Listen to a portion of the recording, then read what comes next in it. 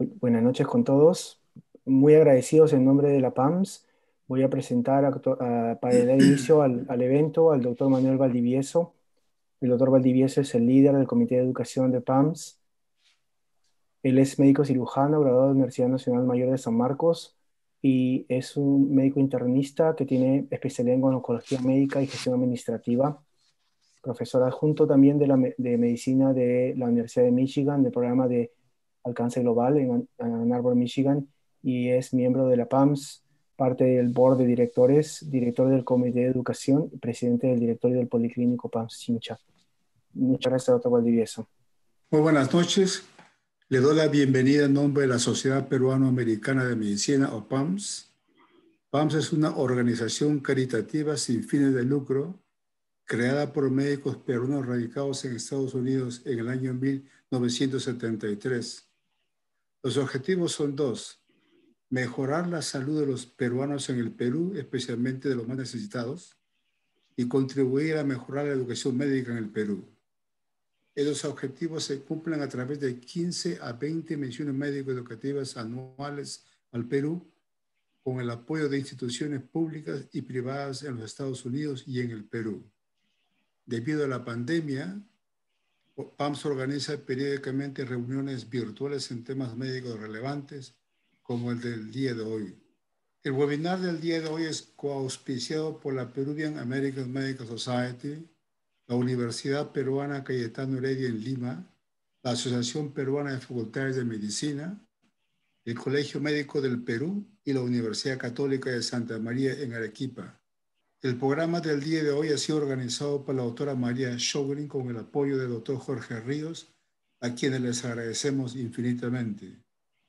El programa cuenta con la participación de cuatro científicos destacados, dos peruanos radicados en Estados Unidos, uno en el Perú, y una científica italiana hondureña radicada en Estados Unidos. Ellos nos darán una actualización de calidad sobre el estado de la vacunación contra el COVID-19 en Estados Unidos, en el Perú y en el mundo. Cada ponente tendrá 20 minutos para su presentación y al final de las cuatro presentaciones tendremos un periodo de 30 minutos para preguntas y respuestas. La audiencia puede hacer preguntas a través de la parte de preguntas y respuestas QA de sus computadoras. Los moderadores dirigirán la sesión incluyendo las presentaciones y las preguntas y respuestas. Los moderadores del programa serán los doctores Manuel Rodríguez Castro y Jorge Ríos Pérez. El doctor Manuel Rodríguez Castro es médico cirujano egresado de la Universidad Peruana Cayetano Heredia, donde fue entrenado en cirugía general y laparoscópica. El doctor Rodríguez es doctor en medicina, es entrenado en gestión estratégica, es profesor principal de medicina experto internacional en calidad de educación superior y decano de las Facultades de Medicina, Estomatología y Enfermería de la Universidad Peruana Cayetano Heredia. El doctor Jorge Ríos Pérez es médico cirujano egresado de la Universidad Nacional Mayor de San Marcos en Lima, entrenado y certificado en Estados Unidos en las especialidades de medicina interna, hematología y oncología médica él es médico oncólogo del Mark Meister Cancer Center en Columbus, Ohio. Jorge es miembro y líder destacado de PAMS. Estimados doctores Rodríguez y Ríos, les agradezco por su participación y los invito a que dirijan el programa. Muchas gracias. Muchas gracias, doctor Valdivieso. Muchas gracias por la invitación de poder compartir con ustedes la moderación y la presentación de estos temas tan interesantes. Y sin más preámbulo, vamos a dar paso a la primera conferencia a cargo del doctor Luis Espinosa. Esta conferencia tiene el título de SARS-CoV-2, la actualización de la epidemiología. El doctor Luis Espinosa es médico cirujano, egresado de la Universidad Nacional Federico Villarreal en Lima, Perú. Hizo su residencia en oncología médica en el Instituto Nacional de Enfermedades Neoplásicas y luego posteriormente hizo su residencia en medicina interna en la Universidad de Hahnemann en Pensilvania tiene certificaciones en medicina interna, actualmente es director senior de la región andina de Gilead Science, en, que tiene su sede en Miami, Florida, y es miembro activo del PAMS en el board de directores, en el comité de educación, y muchas veces nos ha visitado liderando las misiones en, denominadas Selva en Acción. Doctor Luis Espinosa, lo escuchamos. Muy agradecido, doctor Rodríguez, y buenas noches a los amigos de Perú. Eh, vamos a hacer una revisión de cómo estamos en la epidemiología y, qué cosas hemos aprendido del COVID en este último año antes de pasar a la revisión de, las vacunas que nos van a hacer los siguientes colegas. Para empezar, eh, sabemos que eh, hace aproximadamente a fines del 19, del 2019 se reportaron los primeros casos de, de una enfermedad respiratoria alta en la región de Wuhan, en China eh, Wuhan es un centro comercial muy desarrollado y es un centro de, viajes desde Asia Central. Eh, tiene unos aeropuertos y unos trenes por los que la comunicación es tremenda en ese país y eso también podría explicar en algún caso cómo es que esto se ha desarrollado a, a través de todo el mundo. A finales de diciembre del 2019 empezaron a ver pacientes que se venían con problemas respiratorios que no habían coincidían con casos anteriores. Muchos de ellos venían con neumonía, rápidamente progresaban a falla respiratoria, iban a cuidados intensivos y la mortalidad era altísima en ese momento. Los casos de neumonía que se reportaron fueron inicialmente en diciembre 8 y para enero 7 el virus ya había sido identificado por el CDC de China. Eh, el caso de muerte, primer caso reportado fue en enero 11 y el primer caso que se reportó fuera de China, que fue en Tailandia, ya era en enero 13. Para enero 30, la Organización Mundial de la Salud declara una emergencia global mundial. A los pocos días se da el nombre del virus, del SARS eh, coronavirus 2, porque era muy parecido al al SARS que habíamos visto anteriormente, que vamos a verlo un poco más adelante, y a la enfermedad se le llamó COVID-19, que es eh, enfermedad por coronavirus eh, del año 2019.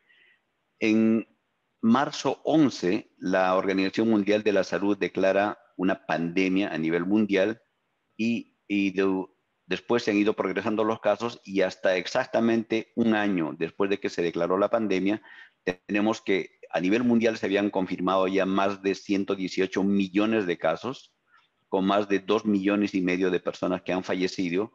En Estados Unidos se confirmaron casi 30 millones de casos con más de medio millón de muertes. ¿Cuál es la situación en el Perú?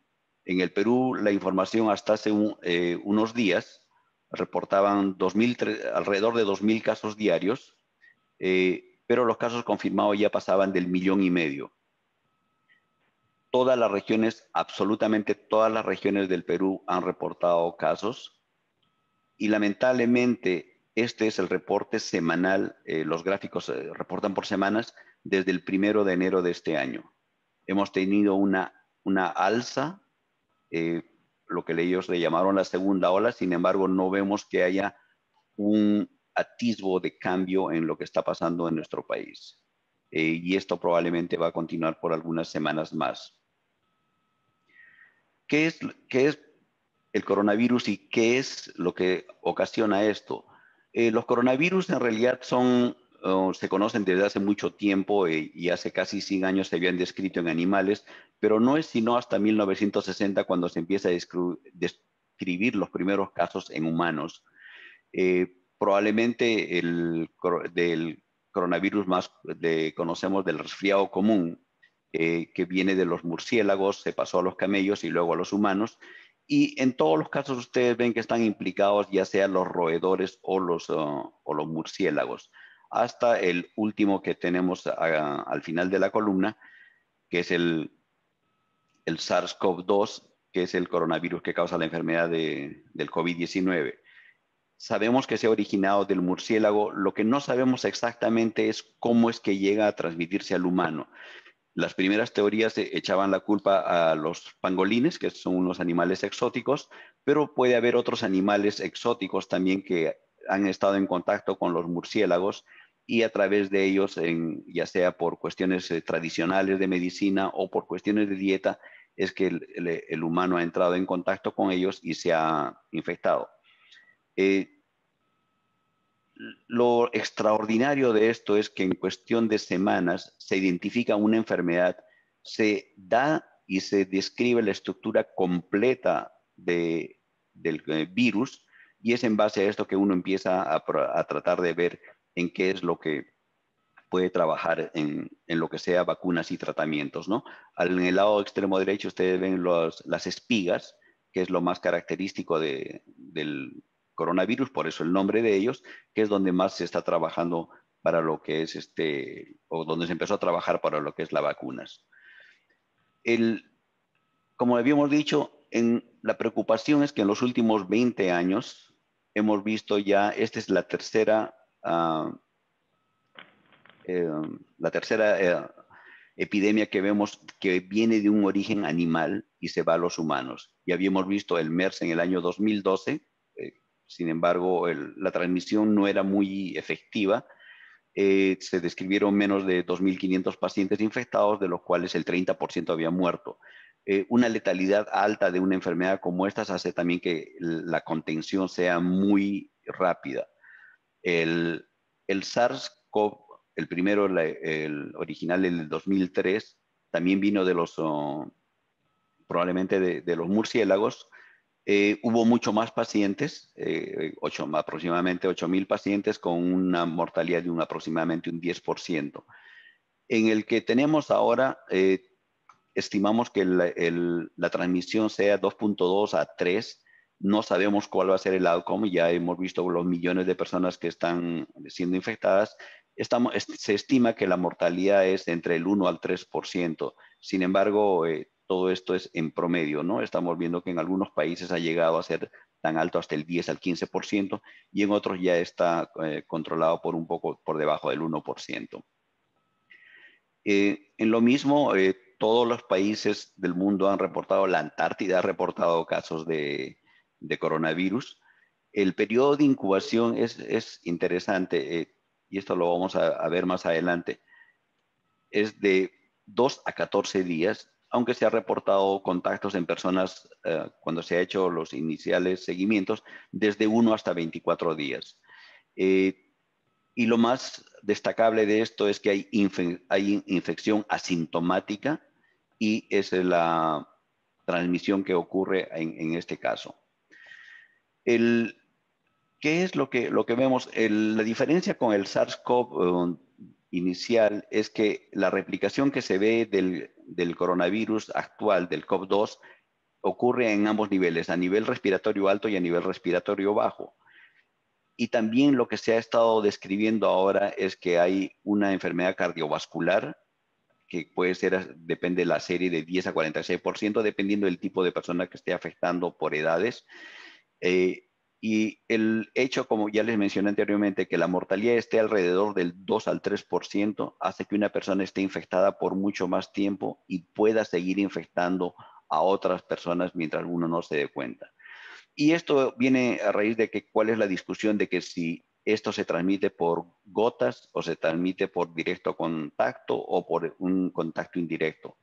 Sabemos, eh, los que hemos trabajado en enfermedades infecciosas, que la transmisión de un virus eh, depende de, del tamaño del virus. Sin embargo, más que todo en, el SARS tenemos que ver que hay, lo más probable es que sea por contacto directo, por las gotas que están en el, que uno puede encontrar en contacto cercano con un individuo o por objetos que hayan sido contaminados con, por las secreciones de, de una persona infectada.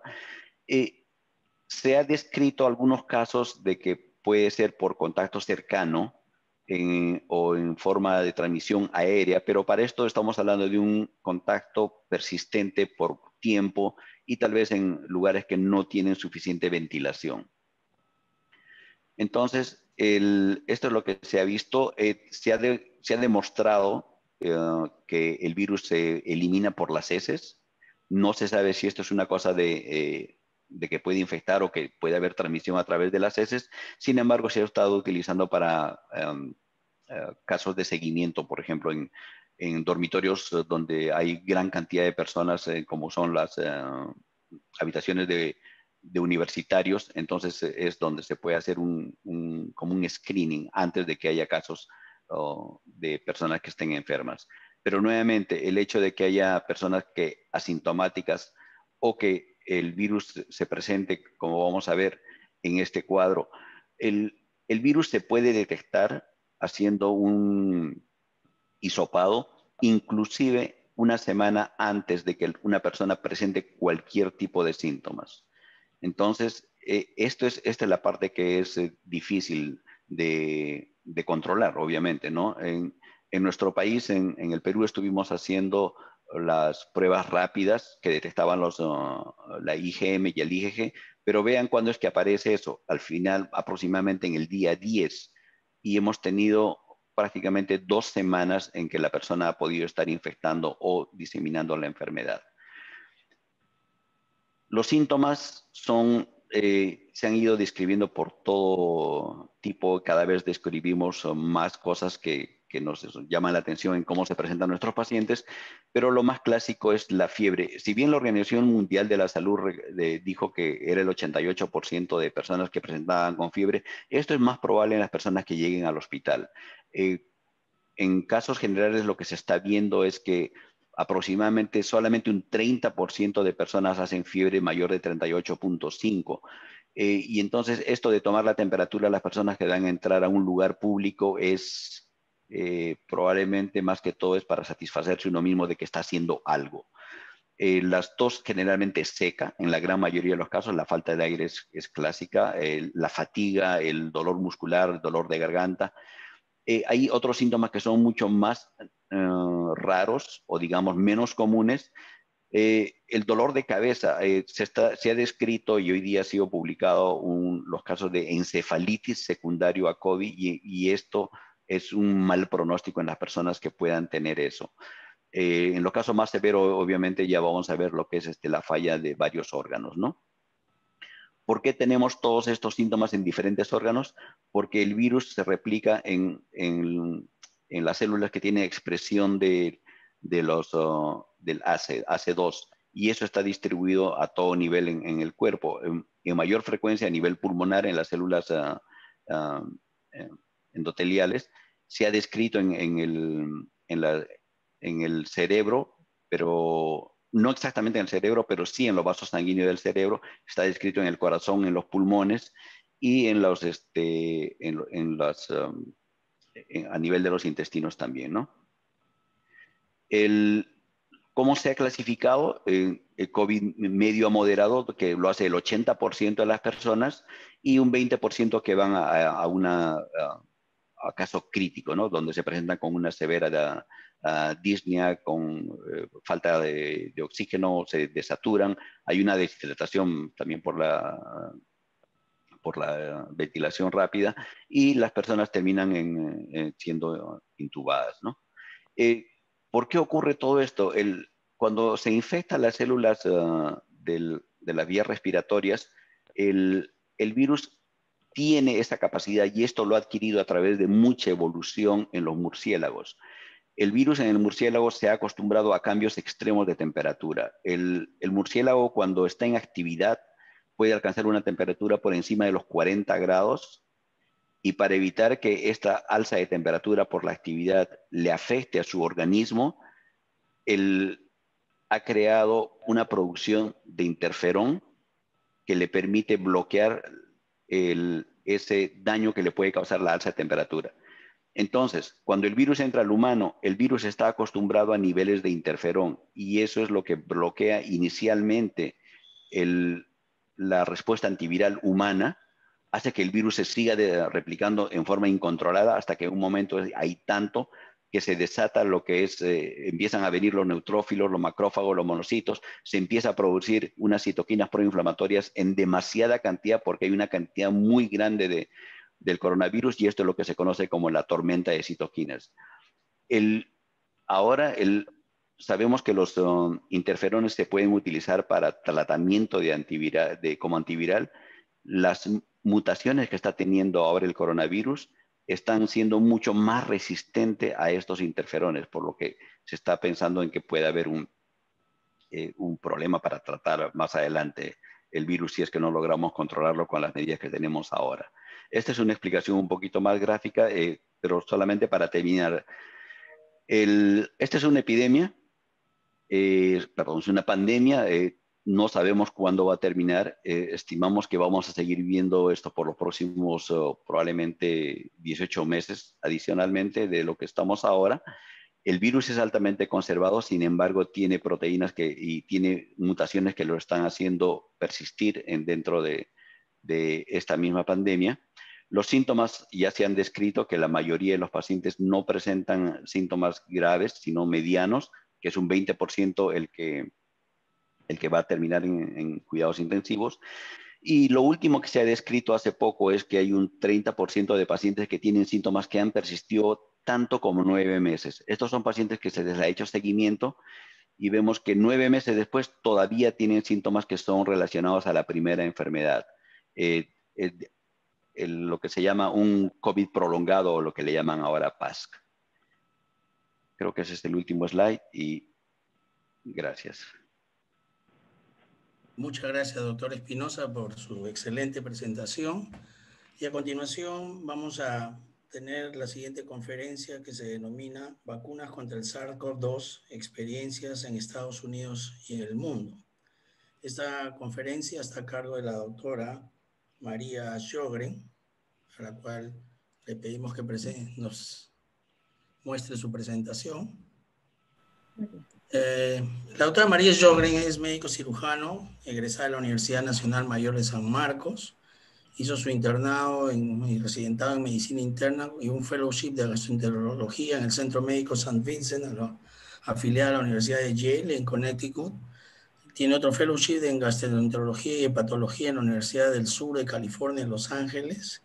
Tiene una maestría en salud pública por la Universidad de Johns Hopkins en Baltimore. Tiene además certificaciones americanas en medicina interna y gastroenterología. Es también profesora asociada de medicina preventiva, servicios uniformados de la Universidad de Ciencias de la Salud, el Centro Médico Militar Nacional Walter Reed en Bethesda, y es miembro del PAMS en el board de directores, directora de estrategia y del comité de educación y, el directorio del Policlínico PAMS que tiene su sede en la ciudad de Chincha. Adelante, doctora Joven. Muchas gracias, doctor Rodríguez. Muchas gracias a la gente que nos escucha, tanto en Estados Unidos, en Perú y en otras partes de habla hispana. Ah, por favor, la siguiente, María. Entonces, la pandemia que estamos viviendo tiene 15 meses de edad. Y en esta época, miren ustedes, nos ha causado 121 millones de muertes en el mundo, quiere decir de infecciones, con cerca de 3 millones de muertes. En Estados Unidos, como se dijo antes, tenemos unos 30 millones de infectados con un medio millón de muertos.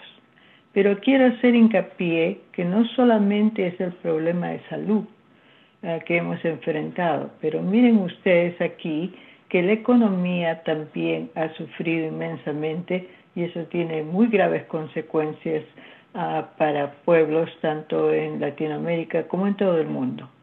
Esto son las economías de China, Estados Unidos, ah, europeas y de Japón y todas tuvieron una crisis, bajaron hasta un 15% de, se contrajeron y se calcula que es un promedio de un 4% ah, al final del 2020.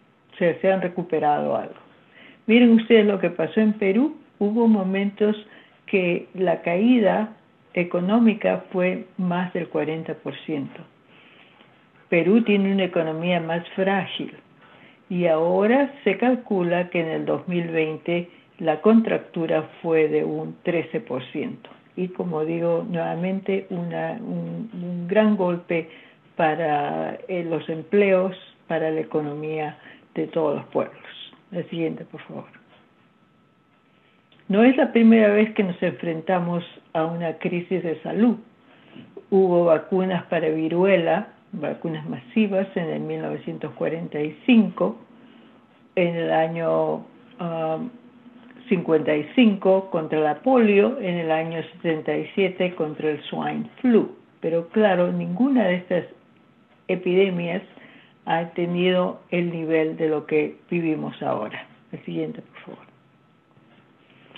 Con gran suerte, por los avances científicos de las últimas dos décadas, tenemos 75 vacunas en desarrollo, 21 de ellas están en estudios muy avanzados y probablemente salgan a la luz próximamente.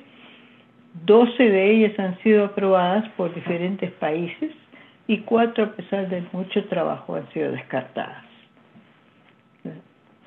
Las plataformas de las vacunas son muchas, en realidad son nueve, como se ve en este slide, y vamos a ver probablemente productos de cada una de ellas conforme pase el tiempo.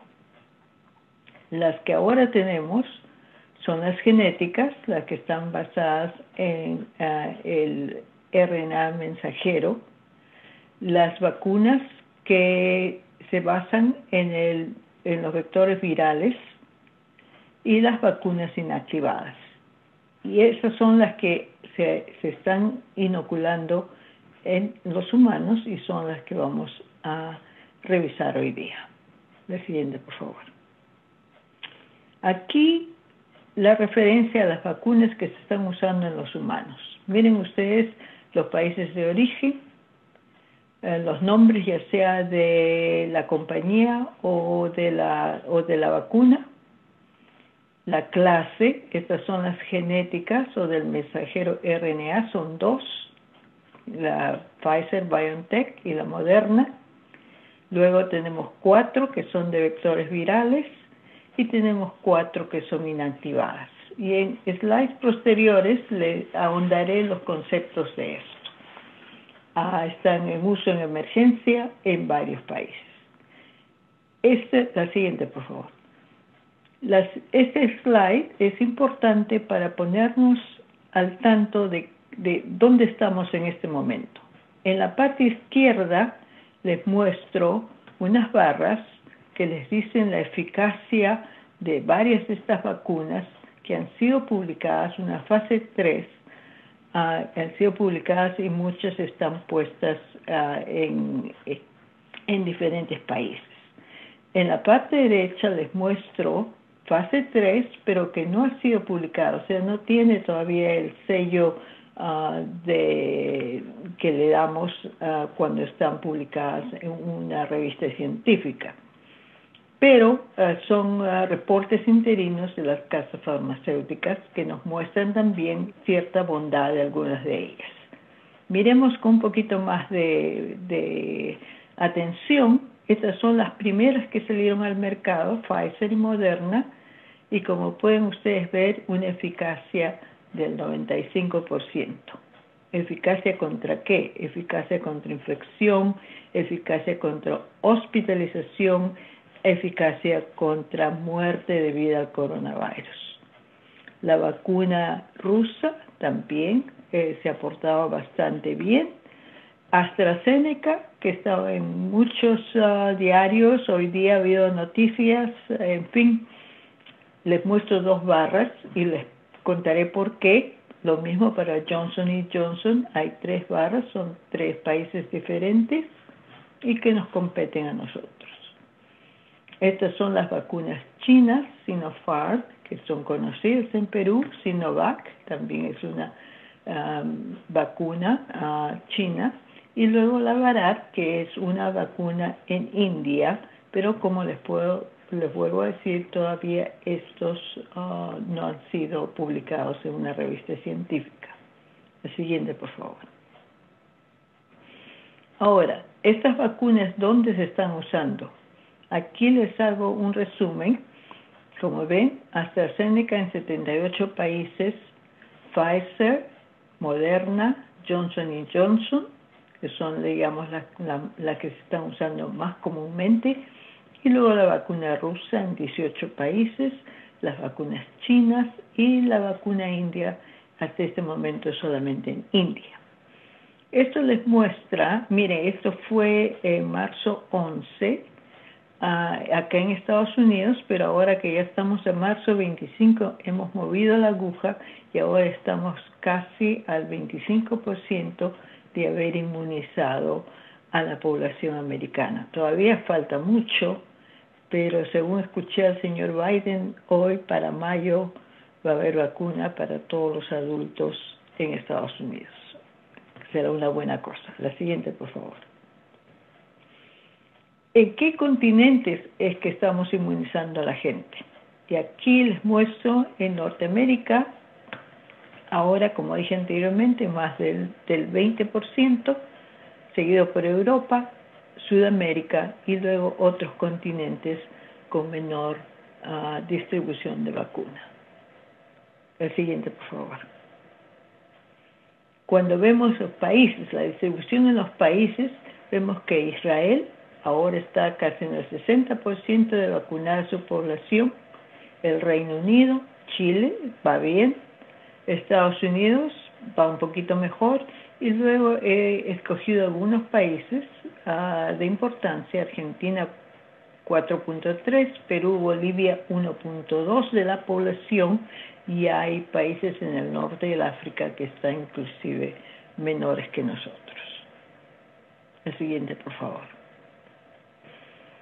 Estas son las tres vacunas, los tres tipos de vacunas que son importantes para nosotros y que les voy a contar con un poquito más de detalle. La siguiente, por favor. Los que nos acompañaron en septiembre del año pasado recordarán cómo es que se produce la vacuna mensajera RNA.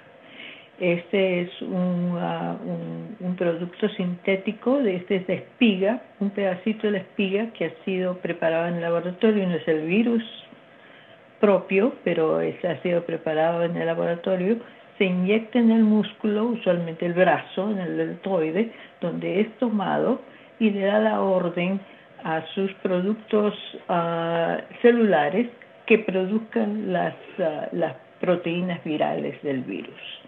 Estos van a evocar los anticuerpos que nos van a defender contra el virus.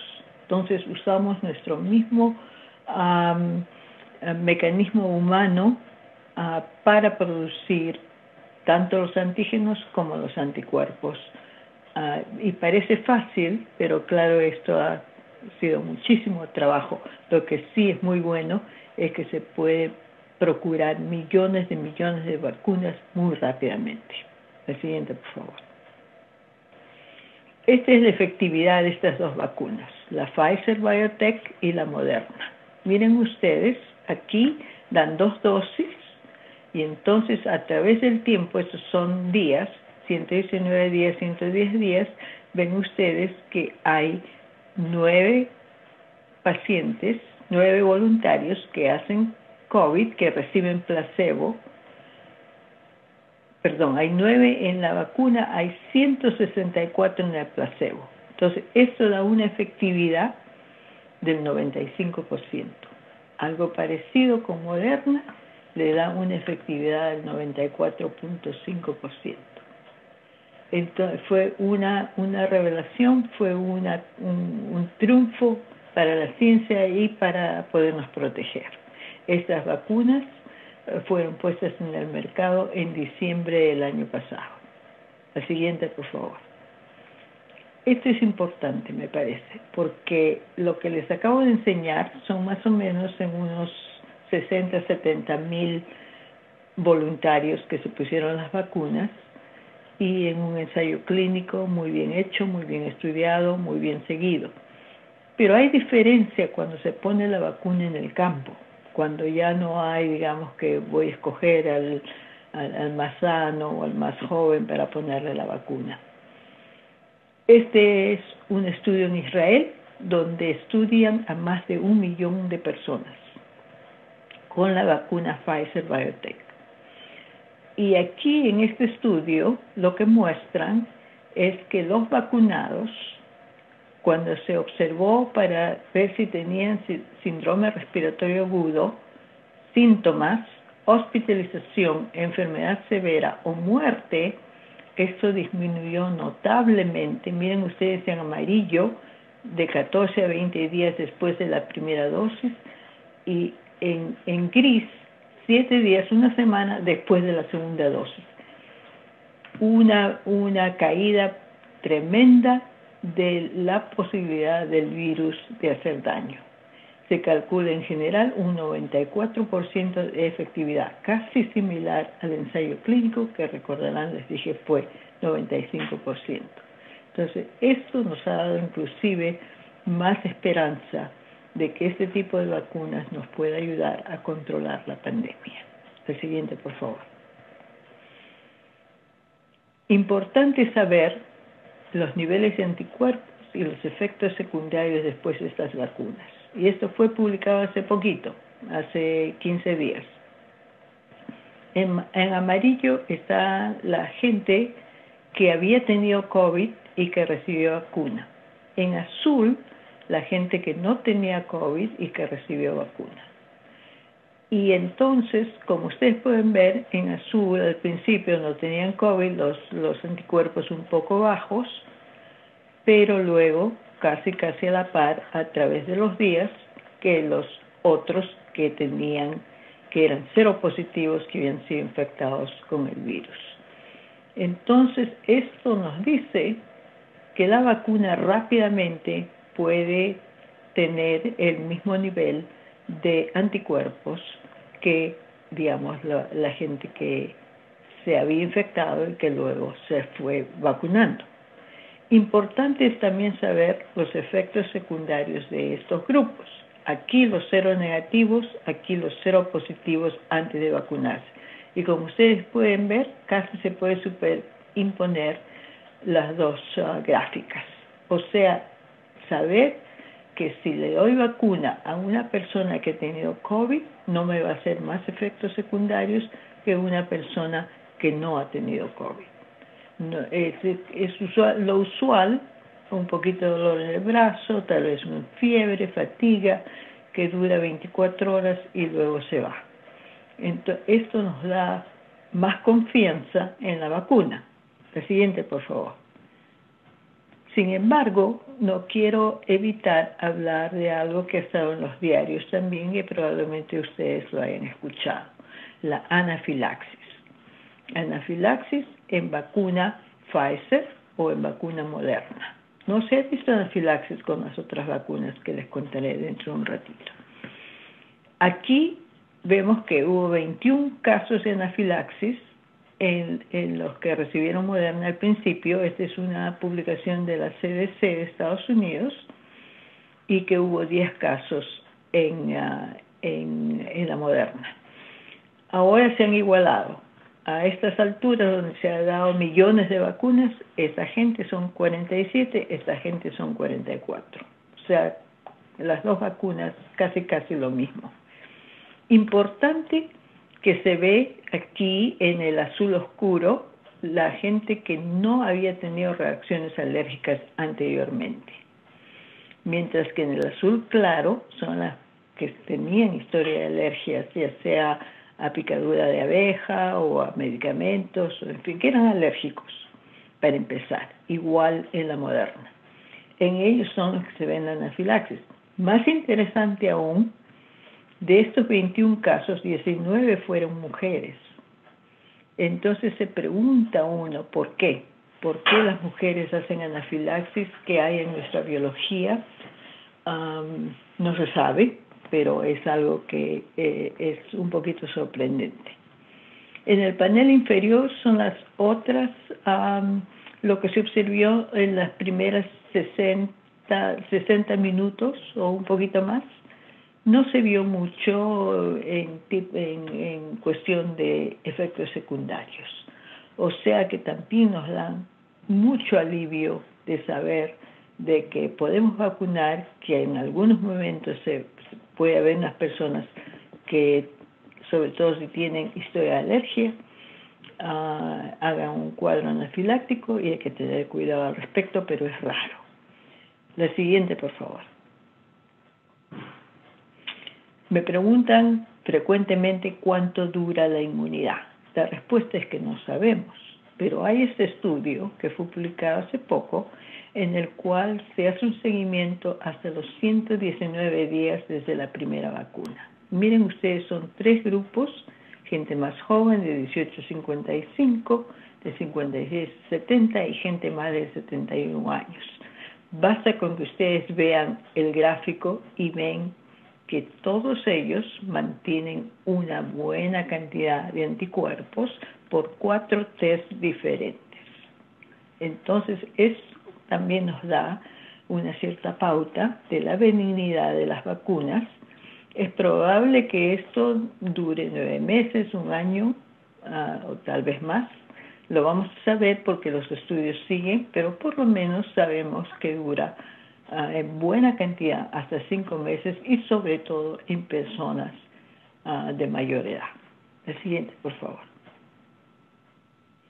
Ahora quiero eh, recordarles las vacunas que usan vectores virales. Y estas vacunas se preparan con unos ah, virus, los adenovirus, que son muy comunes en nosotros los humanos, inclusive los adenovirus que se, se, utilizan son recombinantes no son, y son inertes, o sea, no se pueden replicar, no nos pueden hacer daño.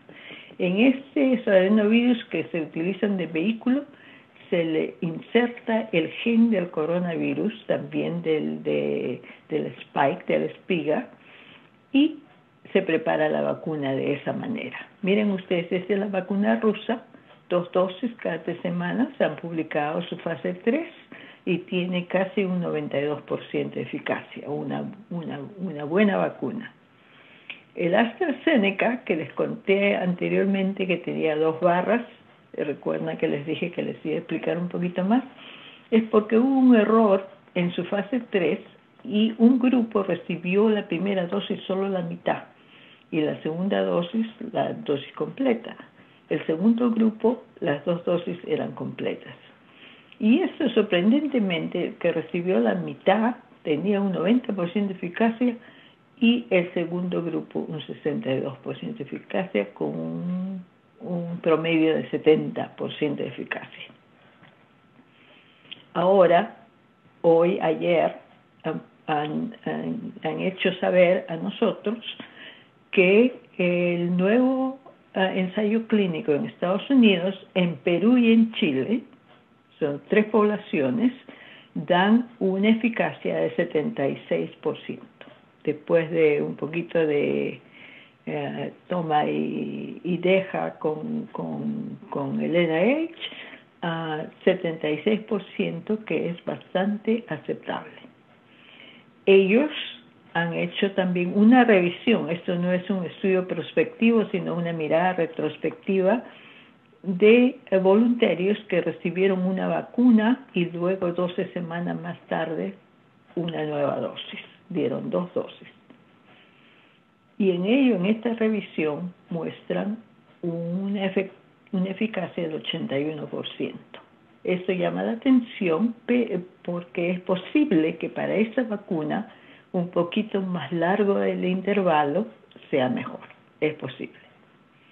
La vacuna Cancino de China, una sola dosis, ah, no ha publicado la fase 3, pero eh, el reporte interino nos dicen una eficacia del 65%.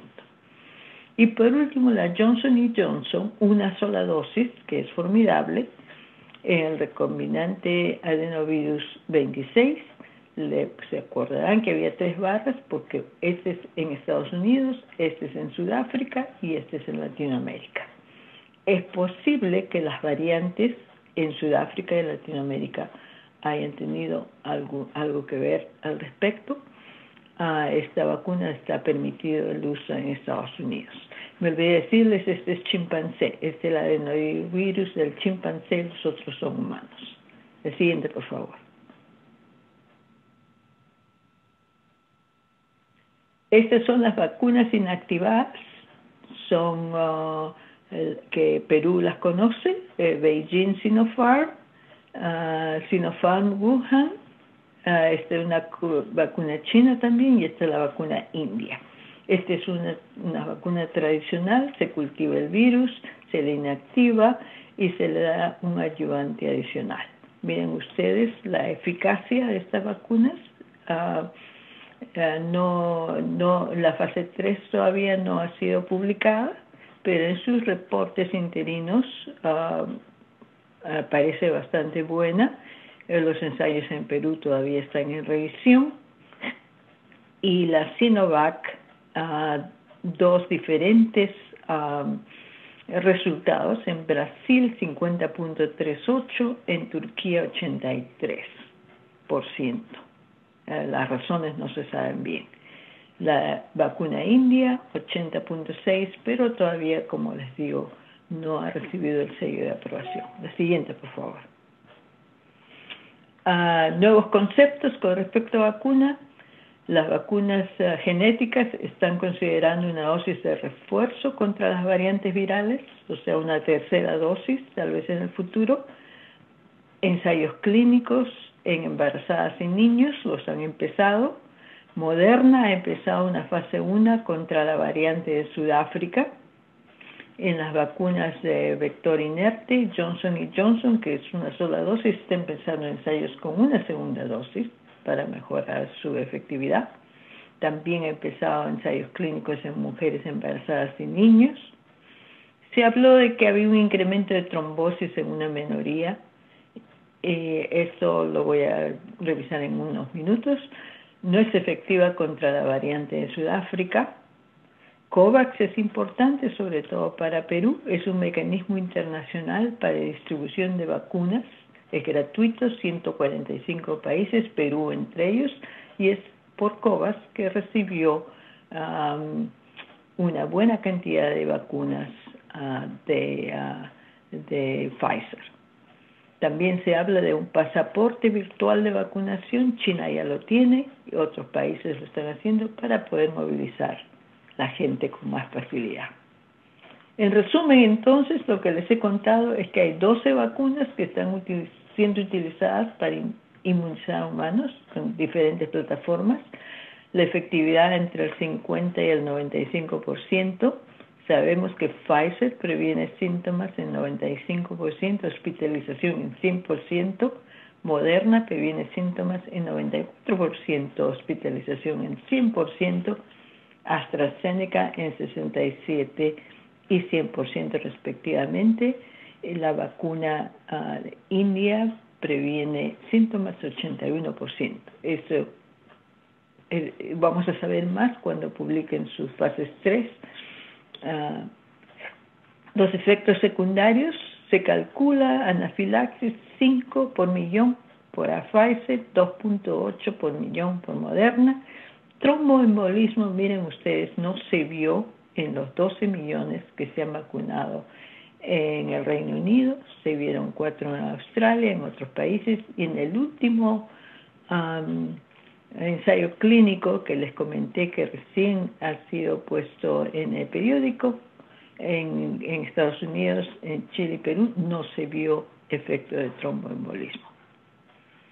Alrededor del 5% de la población mundial ha sido vacunada, nos falta mucho, se calcula que tenemos que vacunar el 70 o 80% para obtener inmunidad de rebaño. Algunos países como Israel están más cerca de esta meta, esperemos que todo el mundo siga allí.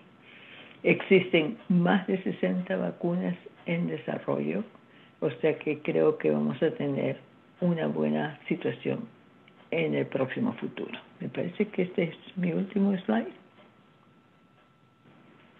Muchas gracias. Muchísimas gracias, doctora Shogren.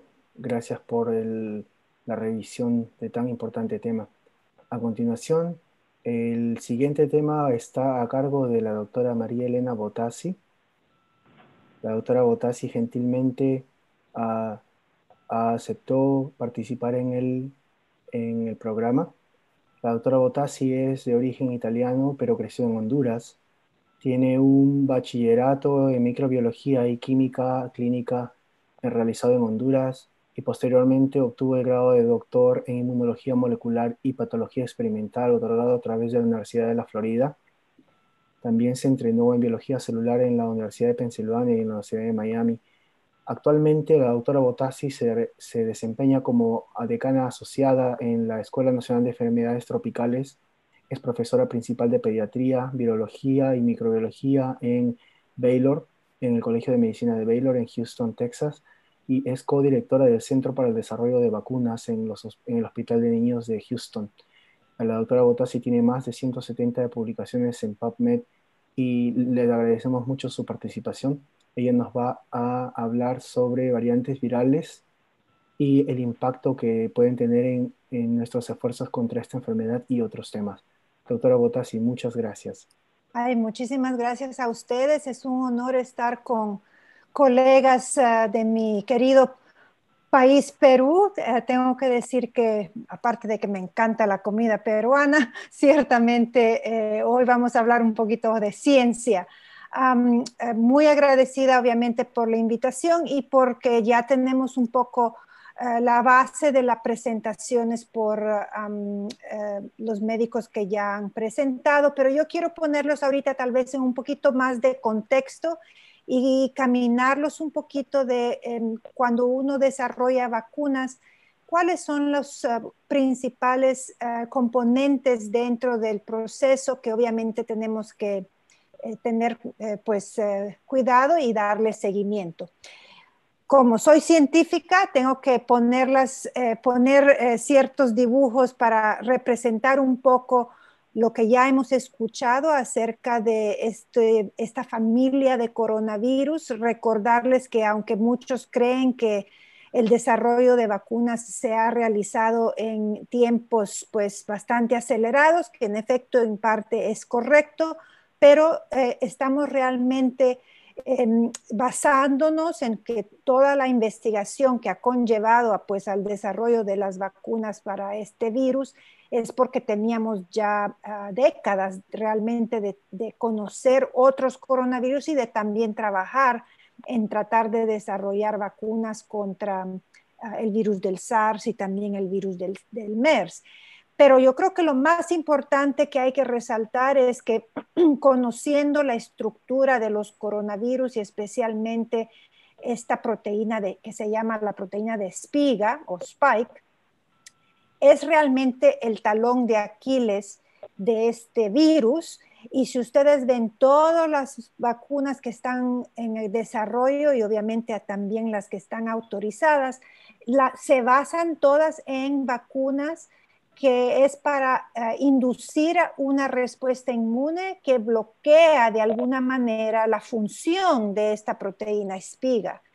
Y aunque a veces eh, no se sabe exactamente qué componente de la proteína espiga se está usando en cada vacuna, si es la, la proteína entera, si son eh, obviamente eh, dominios, um, por ejemplo, hay vacunas, incluyendo una que nosotros estamos desarrollando, que se basa en un pedacito de esa proteína espiga que se llama el, dominio de acoplo, que realmente es el que se une con el receptor. Y si ustedes ven en esta caricatura, la estructura de esa proteína espiga, que obviamente en forma tridimensional también es, un trímero, em, tiene ese pedacito verde que es el que se abre y se cierra y es el que realmente acopla con nuestro receptor en las células humanas, que como se mencionó es el eh, receptor ACE2.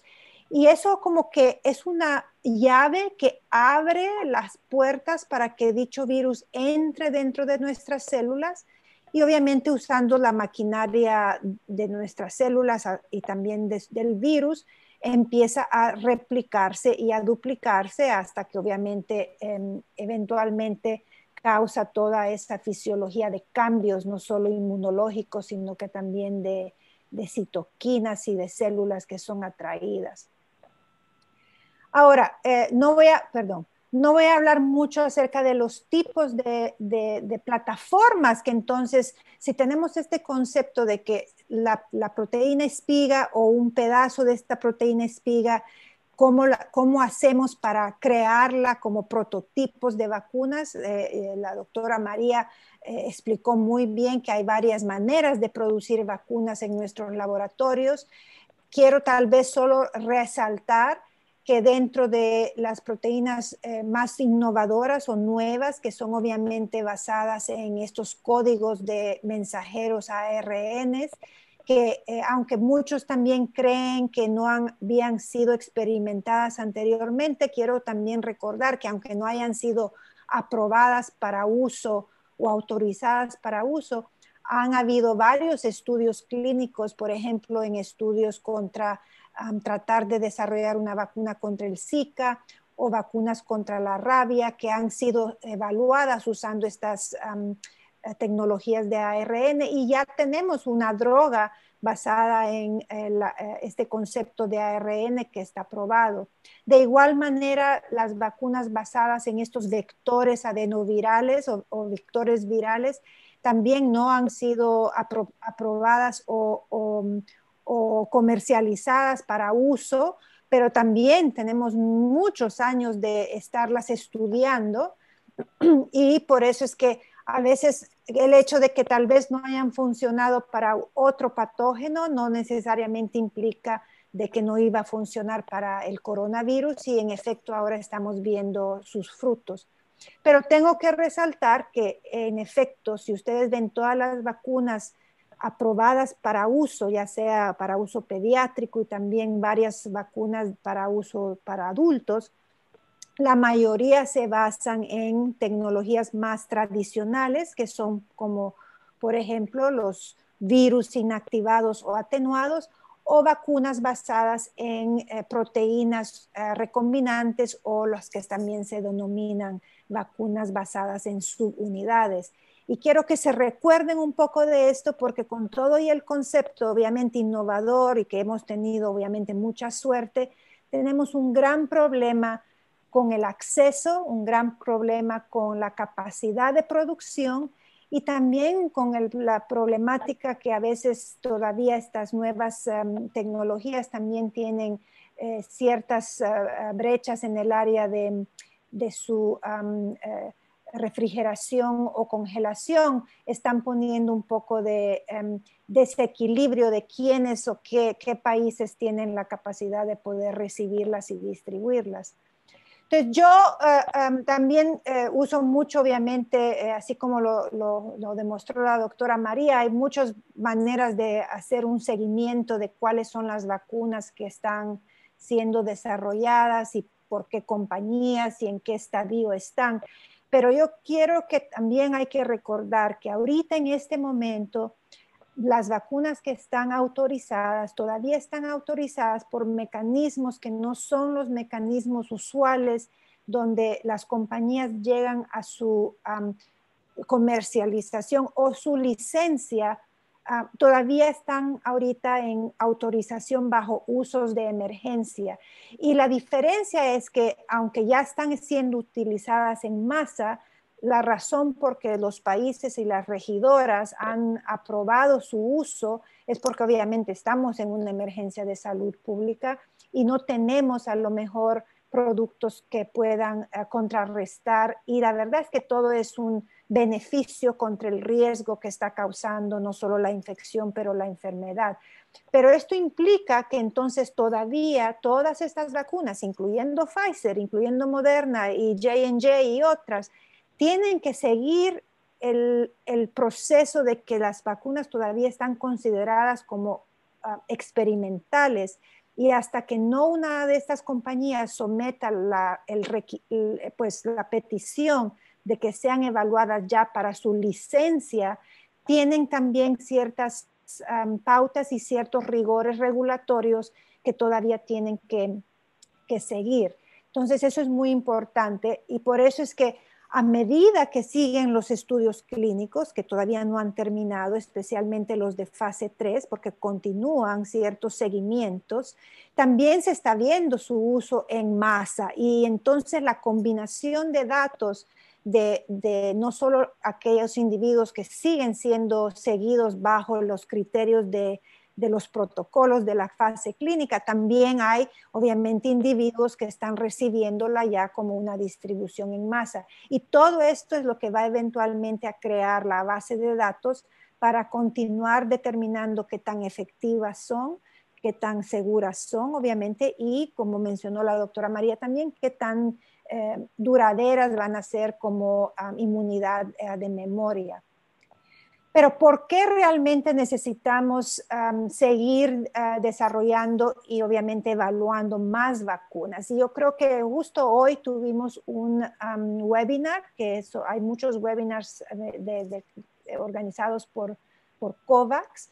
Y aquí se representa muy bien, ¿no? Donde hemos visto, aunque mucho quisiéramos que hubiera habido un equilibrio y una distribución equitativa, la realidad es que la mayoría de los países que están realmente eh, confirmando la capacidad de no solo de compra, sino que obviamente también viendo la distribución, son los países de alto ingreso. Y cuando vemos a los países de mediano y, bajo ingreso, la verdad es que ni siquiera con el COVAX eh, vamos a poder lograr coberturas mayores a lo mejor de un 15 a 20, tal vez 25% probablemente dentro del 2021 y, 2022.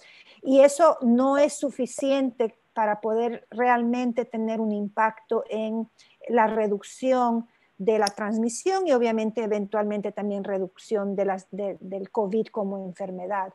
Entonces, eh, por eso es que tenemos que seguir evaluando y el hecho de que obviamente ahora tenemos también variantes en, evolución, preocupan que eh, aunque ustedes piensen que en países como Estados Unidos, Europa, Israel, obviamente eh, están creando una especie de, inmunidad de rebaño porque tienen muy altas coberturas o tienen la posibilidad de llegar a muy altas coberturas porque tienen acaparado obviamente la compra y el acceso.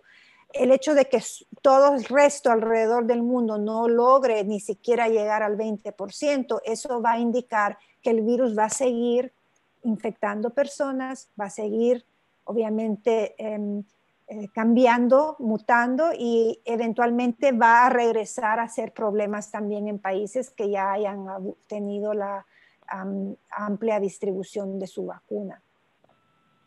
Y eso lo hemos visto. Nosotros eh, en nuestro centro de desarrollo trabajamos mucho también con grupos como por ejemplo el grupo de em, FICOR, que es eh, liderado por el doctor Bruce Lee, que es un médico economista, donde en conjunto trabajamos para evaluar realmente qué tan beneficio sería, por ejemplo, esperar por vacunas más adelante o el hecho de no tener acceso a vacunas o qué tanta eficacidad y cobertura necesitamos. Y la verdad es que ahora ya sabemos muy claro que eh, en especial en el contexto de las variantes, tenemos que em, llegar a coberturas más arriba del 70% en cada país y en eventualmente toda la región mundial para poder realmente tener un impacto, incluyendo un impacto en reducción de transmisión e infección.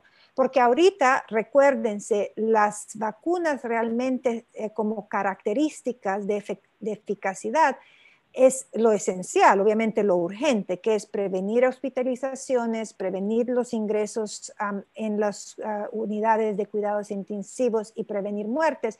Y ya sabemos que es muy probable que indirectamente más personas se vacunen eventualmente menos virus puede ser transmitido, menos virus obviamente va a ser ah, eh, infectar nuevas personas, pero la verdad es que solo se puede ver un impacto cuando se logran incrementar estas coberturas. Y quería tal vez elaborar un poco más en este concepto de qué realmente significa este concepto de efectividad. Y acuérdense, los porcentajes de efectividad se calculan dentro del, blueprint o del protocolo clínico. Y realmente no es que indica que una vacuna es mejor que otra. Por ejemplo, si ustedes oyen, bueno, 60%, obviamente ustedes pensarán es peor que un 90%, pero la, la efectividad es realmente una probabilidad. Es una probabilidad individual, que por ejemplo, si usted está vacunado, usted tiene una probabilidad de que cuando se, obviamente, se em, infecte con el virus y contrae la infección, tiene una probabilidad menor de que usted tenga una enfermedad muy severa o síntomas. Entonces, por eso es que la, la mayoría, eh, probablemente todas las vacunas ya autorizadas, protegen 100%, o sea, la probabilidad de que usted se infecte los, los va a proteger 100% de que no se mueran, de que obviamente tengan síntomas muy, muy, muy severos Y obviamente después el porcentaje de qué tantos síntomas van a tener, si son síntomas leves, moderados, esos son los números que vemos, 60, 70%, 80, 90%. Pero la probabilidad es que además es que a lo mejor, a lo mejor ustedes, aunque se infecten, van a, van a seguir siendo asintomáticos. Y quiero también recordarles que a principios de la pandemia, cuando no sabíamos qué tanto iban a, tener de, efectividad o qué tan buenas van, iban a ser las características de estas vacunas, cuando los reguladores pusieron pautas, la verdad es que nunca nos esperábamos que íbamos a tener porcentajes de efectividad tan buenos como hemos visto. Más bien ellos estaban hablando de que cualquier vacuna que demostrara como mínimo un 50%, hasta con rangos obviamente estimados hasta menores del 30%, iban a crear un beneficio mucho más alto que el riesgo de obtener una infección con síntomas y obviamente síntomas muy, muy graves. Y ahora estamos viendo que con todos los datos, no solo de los estudios clínicos, pero también eh, por, mediante la vacunación relativamente masiva, es que ya estamos muy cerca de poder determinar lo que se llama una, una, un título de anticuerpos que puede servir como una, correlación de protección. Y ya, por ejemplo, hoy también se ha demostrado que un 50% de un título protector estimado en aproximadamente 20% del nivel medio del suero convaleciente, sugiere que ahora podemos determinar que cuando alguien mide que tanto de em, título tiene una persona después de recibir una vacuna, nos puede ya extrapolar a qué porcentaje de efectividad dicha nueva vacuna va a tener. Y eso nos va a permitir crear protocolos estudios, de estudios clínicos que ya no vamos a requerir a 40 mil personas. Vamos a probablemente poder hacer estudios clínicos en número de personas menores y vamos a poder también eh, hacerlas en comparación a la efectividad, obviamente, de otra vacuna que también ya ha sido usada dentro del contexto de esa población. Ahora, quisiera también, eh, ya hablamos y ustedes obviamente son mucho más entendidos de, las vacunas que están llegando a Perú, pero quiero también eh, tal vez eh, resaltar que aparte de que Perú obviamente eh, declaró uh, la vacunación como una intervención prioritaria desde el 2008, eso implica que ya tiene un sistema de um, programa de inmunización uh, en Perú, obviamente probablemente la mayoría como en todo el mundo uh, muy dedicado a la distribución pediátrica, pero de ahí ya eso implica que eh, cada país puede aprender de esas lecciones para extrapolar a un programa de inmunización eh, en, adultos, pero también que eh, desde el 1990 Perú pues creó el, el que es el organismo regulatorio del país. Y esto es importante porque hay que ver a qué nivel, obviamente, cada país tiene a lo mejor su entidad regulatoria, pero dentro del contexto mundial, eh, dije MIT se, se, basa probablemente en también y se respalda en lo que se llaman estas entidades regulatorias estrictas que se dividen en tres niveles, ¿no? Hay un cierto grupo que son las súper estrictas, ¿no? Las, ah, las stringent ah, ah, regulatory bodies, que, que son miembros de este Consejo Internacional de armonización de los requisitos técnicos para productos farmacéuticos, que son tres, son la EMA de Europa, la, de Estados Unidos FDA y la de Japón. Pero también hay otras que son eh, gremios observadores eh, de la ICH, que por ejemplo son la de Canadá y la de Suiza, y otros países que tienen unos acuerdos jurídicos vinculantes para también estar dentro de estos eh, requisitos eh, armonizados, eh, la ICH, que son como por ejemplo Australia, Islandia y otros. Pero por ejemplo, países como los nuestros en Latinoamérica, a veces tienen que, eh, no llegan a tener esos rigores tan altos, pero la ventaja es que se respaldan. Entonces, como por ejemplo, si una vacuna como es la de Pfizer y Moderna ya fue aprobada por EMA, FDA, en, eh, eh, le agregamos que también tienen eh, la Organización Mundial de la Salud, que les ha dado la, aprobación de precalificación a los manufacturadores, cuando obviamente llegan a las manos de un regulador como es el del Perú, obviamente dicen, bueno, como mínimo yo sé que ya fue revisado ese dossier por otras manos y obviamente eh, eh, se, se, se, rigen en hacer determinaciones también de acuerdo a cómo otros perciben estos resultados. En Perú, de lo que yo pude encontrar dentro de la página de Digemed, ahorita Dos han sido aprobadas, como se mencionó, obviamente la vacuna inactivada de, de, Sinopharm y la de Pfizer, y eventualmente más vacunas, incluyendo, creo que he oído que probablemente va a llegar la de Sputnik, estará en proceso ahorita de, de revisión.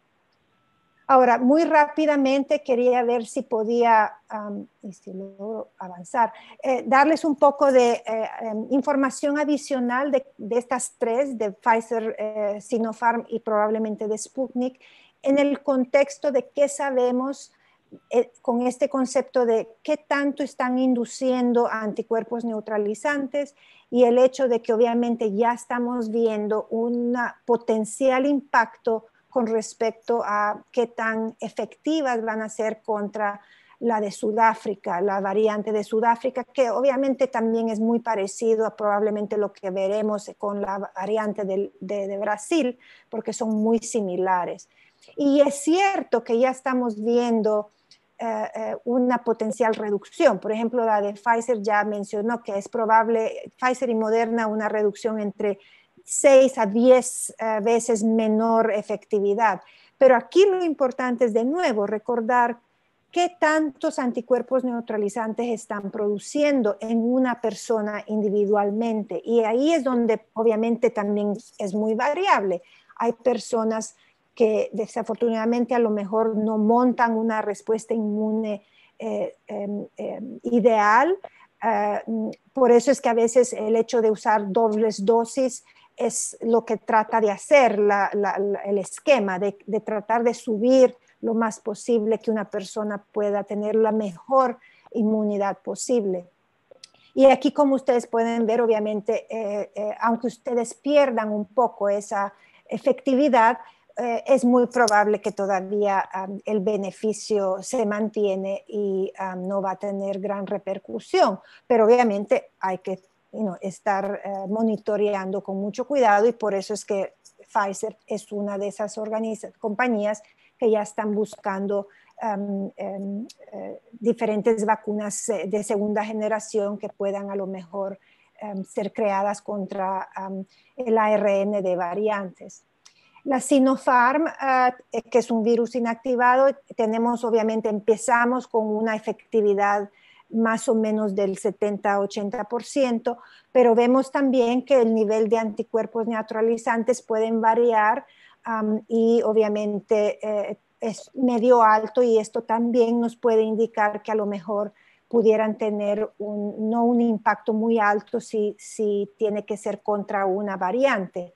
Aquí recordémonos que ahorita todavía no han sido aprobadas por ninguna regidora eh, estricta tengo que decir que las farmacéuticas de, la China están trabajando muy arduamente con el COVAX y con em, la Organización Mundial de la Salud de tratar de entrar dentro de estos procesos de rigurosos de precalificación pero en este momento la realidad es la que es. No han sido aprobadas por entidades regulatorias estrictas, pero eso no indica que no han sido aprobadas o autorizadas por sus propias regidoras y por regidoras, por ejemplo, en Latinoamérica, como son la de Argentina y la de Venezuela, y obviamente también en el Perú, como pueden ver ustedes aquí. Y por último, de igual manera, la de Sputnik, ¿no? Aquí estamos un poco tenemos que tener un poco de cuidado, estamos esperando también ver qué tanto eh, son de beneficio estas vacunas con el hecho de que si ustedes ven los niveles de anticuerpos neutralizantes son relativamente bajos en el contexto de, cómo se, se, comparan con otras vacunas. Y aquí de nuevo, aunque no hayan sido aprobadas todavía por regidoras estrictas, hay más variedad de regidoras que ya han revisado este dossier, incluyendo México, Argentina, Venezuela, Bolivia, Honduras, por ejemplo, también ya la, ha aprobado. Pero de nuevo, hay que eh, recordarnos que estamos viendo ahorita una urgencia una urgencia por el hecho de que eh, hay un rol de estas variantes, obviamente eh, varias cepas ah, ah, de este virus que ya hemos visto, obviamente SARS-1, SARS-2, el MERS, y dentro de esos mismos virus estamos viendo que hay variantes y hay que estar pendientes no solo de las variantes de preocupación, pero ya están saliendo otro tipo de variantes que las llamamos las variantes de interés y em, eventualmente tenemos que obviamente darle seguimiento. Ahorita las más importantes y de preocupación son las, la del Brasil, la P1 y obviamente la que se categoriza que fue y originó en Sudáfrica, que es la, la B1.351.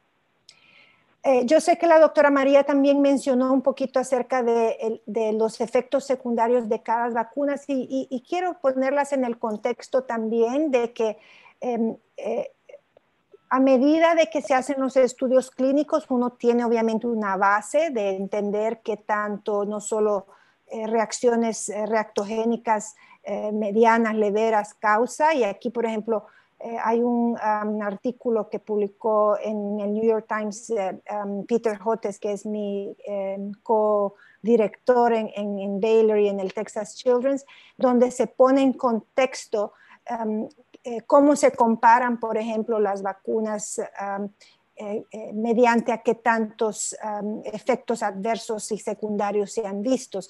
Pero la buena noticia es que eh, la intención eh, que, de hacer vigilancia no solo durante los estudios clínicos es en efecto esto, de hacer vigilancia posterior a la introducción, porque ahí es donde vamos a, encontrar estos efectos raros que hay que obviamente investigarlos y evaluarlos, pero eso tampoco no quita el contexto de que ahorita las vacunas eh, el beneficio que confieren en el contexto del número de personas que han sido vacunadas eh, efectivamente y eficientemente, eh, pues no, no, tienen que darles a ustedes ninguna dudas para que se vacunen. Ahora, quisiera tal vez terminar rápidamente hablando un poquito de la vacuna que nosotros hemos estado trabajando es una vacuna que eh, estamos trabajando eh, en, colaboración con una organización en la India que se llama Biological E. Biological E muy similar a, tal vez a otras que han oído ustedes como es el Serum Institute of India. India tiene un gran ecosistema de manufacturadores de vacunas, son eh, un gran grupo que forman parte del grupo de manufacturadores de los países en vías de desarrollo. Eh, dentro de Latinoamérica tenemos, por ejemplo, Synergium en, Argentina, obviamente Biomanguiños Butantan en Brasil. Desafortunadamente Latinoamérica no tiene un gran ecosistema de manufacturadores y ojalá que obviamente esto también induzca a, crear más capacidad local. Y aquí vemos que ahorita estamos viendo que eh, ya ahora con el cambio de la mm, administración, y con un poco de limitación en el hecho de que una de las razones por las cuales hay dificultad también de producción global es el acceso a ciertos insumos y a ciertos ah, ah, pues reactivos eh, em, donde hay, está el, acto eh, gubernamental en Estados Unidos que previene, por ejemplo, a ciertas organizaciones eh, comprar reactivos en Estados Unidos. Ahora, últimamente hubo una reunión del, del, Quad Summit, que es un grupo de países donde se ha dispensado y se ha dado la oportunidad de grupos manufacturadores de tener acceso a ciertos insumos y, e incrementar la formulación y la producción de vacunas y nosotros eh, pues muy eh, contentos de ver que Biological E fue nombrado por esta iniciativa que se van a beneficiar. Entonces nuestra iniciativa para desarrollar vacunas eh, también se basa en el hecho de que hemos estado trabajando más de una década en vacunas contra coronavirus. Nosotros tenemos programas para SARS, MERS y obviamente ahora para COVID-19. Utilizamos este concepto de proteínas recombinantes, o sea, nosotros trabajamos en vacunas basadas en subunidades usando fermentación microbianas en levaduras, muy parecido a, la producción de las vacunas contra la hepatitis B, que son tecnologías muy establecidas y son consideradas obviamente eh, muy seguras porque ya están usadas en otras vacunas eh, aprobadas. Y entonces lo que hemos hecho es eh, entrar en una licencia no exclusiva. Obviamente también estamos trabajando con otros manufacturadores, pero la que está más avanzada ahorita es nuestra colaboración con Biological E que hemos, nosotros creamos el prototipo de la proteína eh, eh, en, levadura en nuestros laboratorios bajo, obviamente, controles de calidad para poder transferir la tecnología. Biological E pues eh, obtuvo nuestras ah, células madre para producir la proteína en el laboratorio. También se unieron con otra organización que se llama Dynavax, que provee un componente de la formulación. Y ahorita, eh, esperando obviamente también cambios de, cómo hacer la fase clínica, ellos ya están terminando ahorita, en marzo terminan su fase combinada fase 1, fase 2, y ahorita en abril empezarán su fase 3 de una manera ah, probablemente acelerada y aunque inicialmente creíamos que iban a, obtener autorización en octubre, ahora las, eh, los tiempos indican que probablemente van a estar listas ah, en autorización en, en el verano de este año. Y esto realmente obviamente va a ayudar a traer otra opción. Solo para que vean un poquito las caras de nuestro equipo, porque siempre tengo que agradecerlos no solo a ellos, pero a nuestros eh, eh, patrocinadores. Pero también quería tal vez eh, terminar con recordarles de nuevo, ¿no? Sabemos mucho, pero todavía no sabemos lo suficiente tenemos un poco de indicación de la durabilidad de la inmunidad, pero como dijo la doctora María, todavía falta tiempo para realmente entender qué tanto van a eh, inducir una memoria, ah, una inmunidad de memoria. El hecho que tenemos sobreimpuestos estas variantes, vamos a tener que ver ah, cómo eso impacta ah, esta inmunidad duradera. Eh, ya sabemos que estamos empezando a hacer estudios en, pediátricos, eventualmente eh, ahorita en adolescentes, eventualmente en pediátricos. También tenemos que trabajar un poquito más en vacunas para mujeres embarazadas y obviamente tal vez expandir nuestro entendimiento en, grupos especiales, por ejemplo, inmunosuprimidos, o también expandir un poco formulaciones más adecuadas para la tercera edad.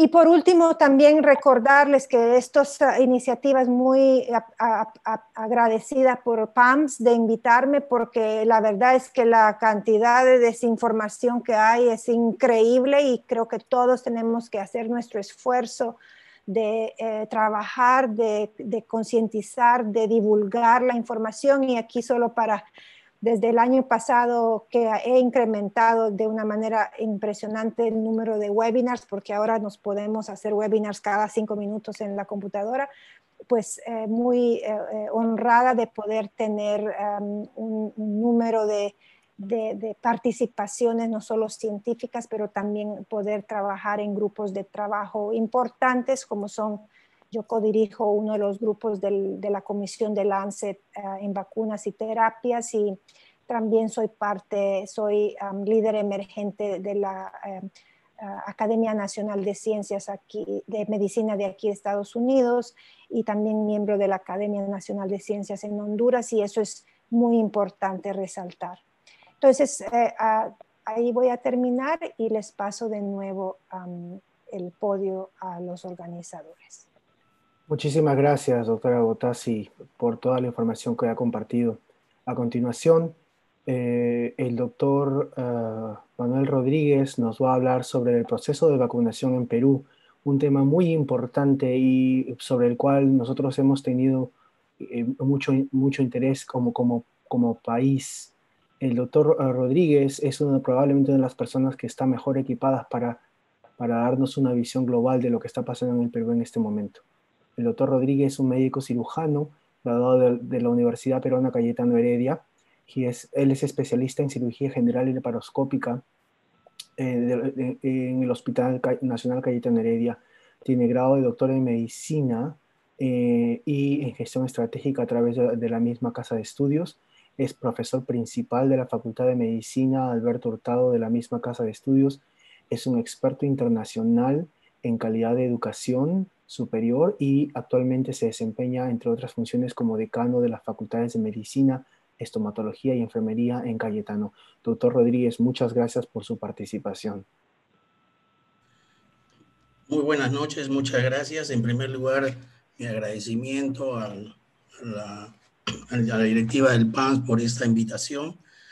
Realmente para mí es un honor poder compartir con tan distinguidos expertos profesionales sobre este tema y yo quisiera hacer una pequeña aclaración. Eh, como ustedes podrán darse cuenta, mi formación es de cirujano, o sea, ¿qué tiene que hablar un cirujano sobre vacunas? Pero como bien lo dijo Jorge, de alguna manera mi posición de decano me ha permitido estar involucrado con todos estos procesos y en realidad yo no voy a hacer una presentación de la calidad científica como han tenido ustedes la suerte de los, los que me han antecedido, sino voy a tratar de hacer una revisión más que todo cronológica de las principales acciones que se han dado en nuestro país a raíz de este proceso de vacunación. Eh, voy a comenzar, eh, digamos, voy a tocar cinco temas rápidamente. Primero, ¿cuál es el panorama del COVID en el Perú actualmente? Luego, ¿cuáles fueron, han sido las gestiones que el gobierno peruano ha realizado para eh, poder vacunar a nuestra población? Luego, ¿cuál es el plan de adquisiciones que se han venido implementando, cuál es la percepción de la población que, que, tenemos con respecto a lo que es la vacunación y finalmente cuál es en sí el plan de vacunación que se está llevando a cabo en este momento.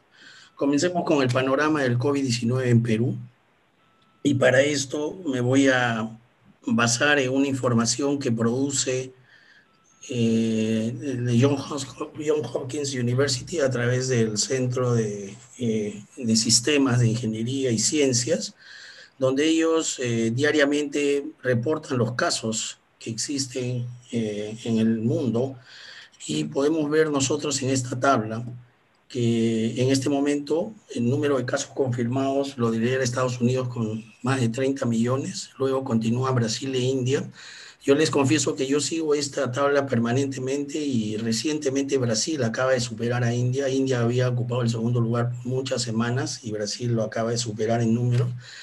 Y Perú, si lo vemos, bueno, acá están la mayoría de países que conocemos que tienen una gran incidencia. En Latinoamérica, Colombia y Argentina tienen más casos que nosotros. Y nosotros estamos alrededor de un millón y medio de personas donde son de casos confirmados de COVID y hacerle mención de que Perú en un determinado momento ocupaba el quinto puesto en esta tabla con respecto al número de casos confirmados. Pero eso es simplemente el número absoluto. Luego tenemos una, un cálculo que hemos hecho sobre el porcentaje de infectados, es decir, cuántas personas de casos confirmados dividida entre la población total de cada país. Y en este caso vemos que la República Checa tiene un 15% de su población se ha infectado con el COVID. Israel 11%, Estados Unidos un poco menos del 10% y así viene.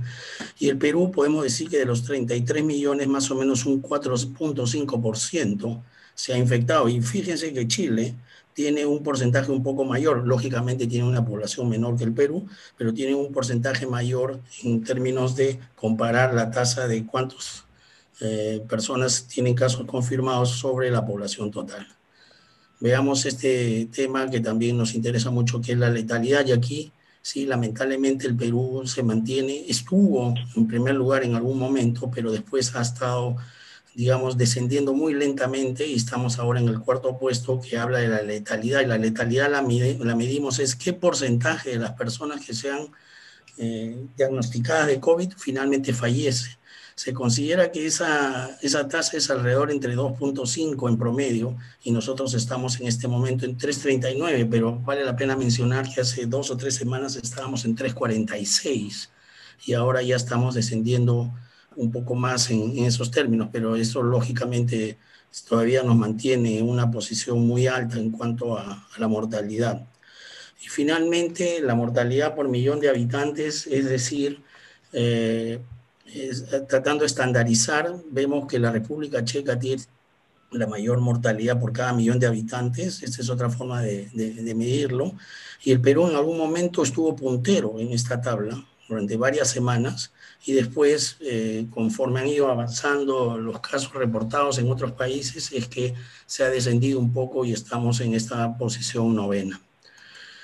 Esta es, eh, digamos, la sala situacional para el día de ayer, 24 de marzo, y vemos eh, el total de casos del millón, casi un millón y medio, eh, estas son las cifras con respecto a, los fallecidos, ya pasamos a los 50.000, pero la letalidad, como le decía, está en 339.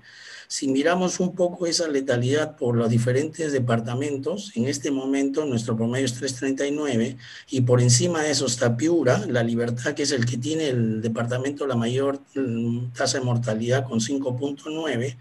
Luego viene Lima Región, eh, Ancash, eh, Ica, y el resto ya están por debajo de ese promedio. Pero eso es más o menos un poco el panorama y esta hoja se va actualizando permanentemente. Y eso es un poco, en principio, qué cosa es, eh, cómo está el COVID-19 y aquí en este mapa ustedes pueden ver dónde hay mayor positividad en los, los, los países que están sombreados más intensamente, o perdón, los departamentos que están son más sombreados intensamente son los que tienen una mayor tasa de positividad. ¿Qué cosa ha hecho el gobierno con respecto al COVID en términos de, la vacunación? Y ojo, quiero hacer muy claro que aquí no voy a proponer ninguna ah, postura a favor o en contra de los gobernantes, los últimos gobernantes que hemos tenido, sino simplemente voy a hacer una descripción eh, narrativa de qué cosa es lo que sucedió.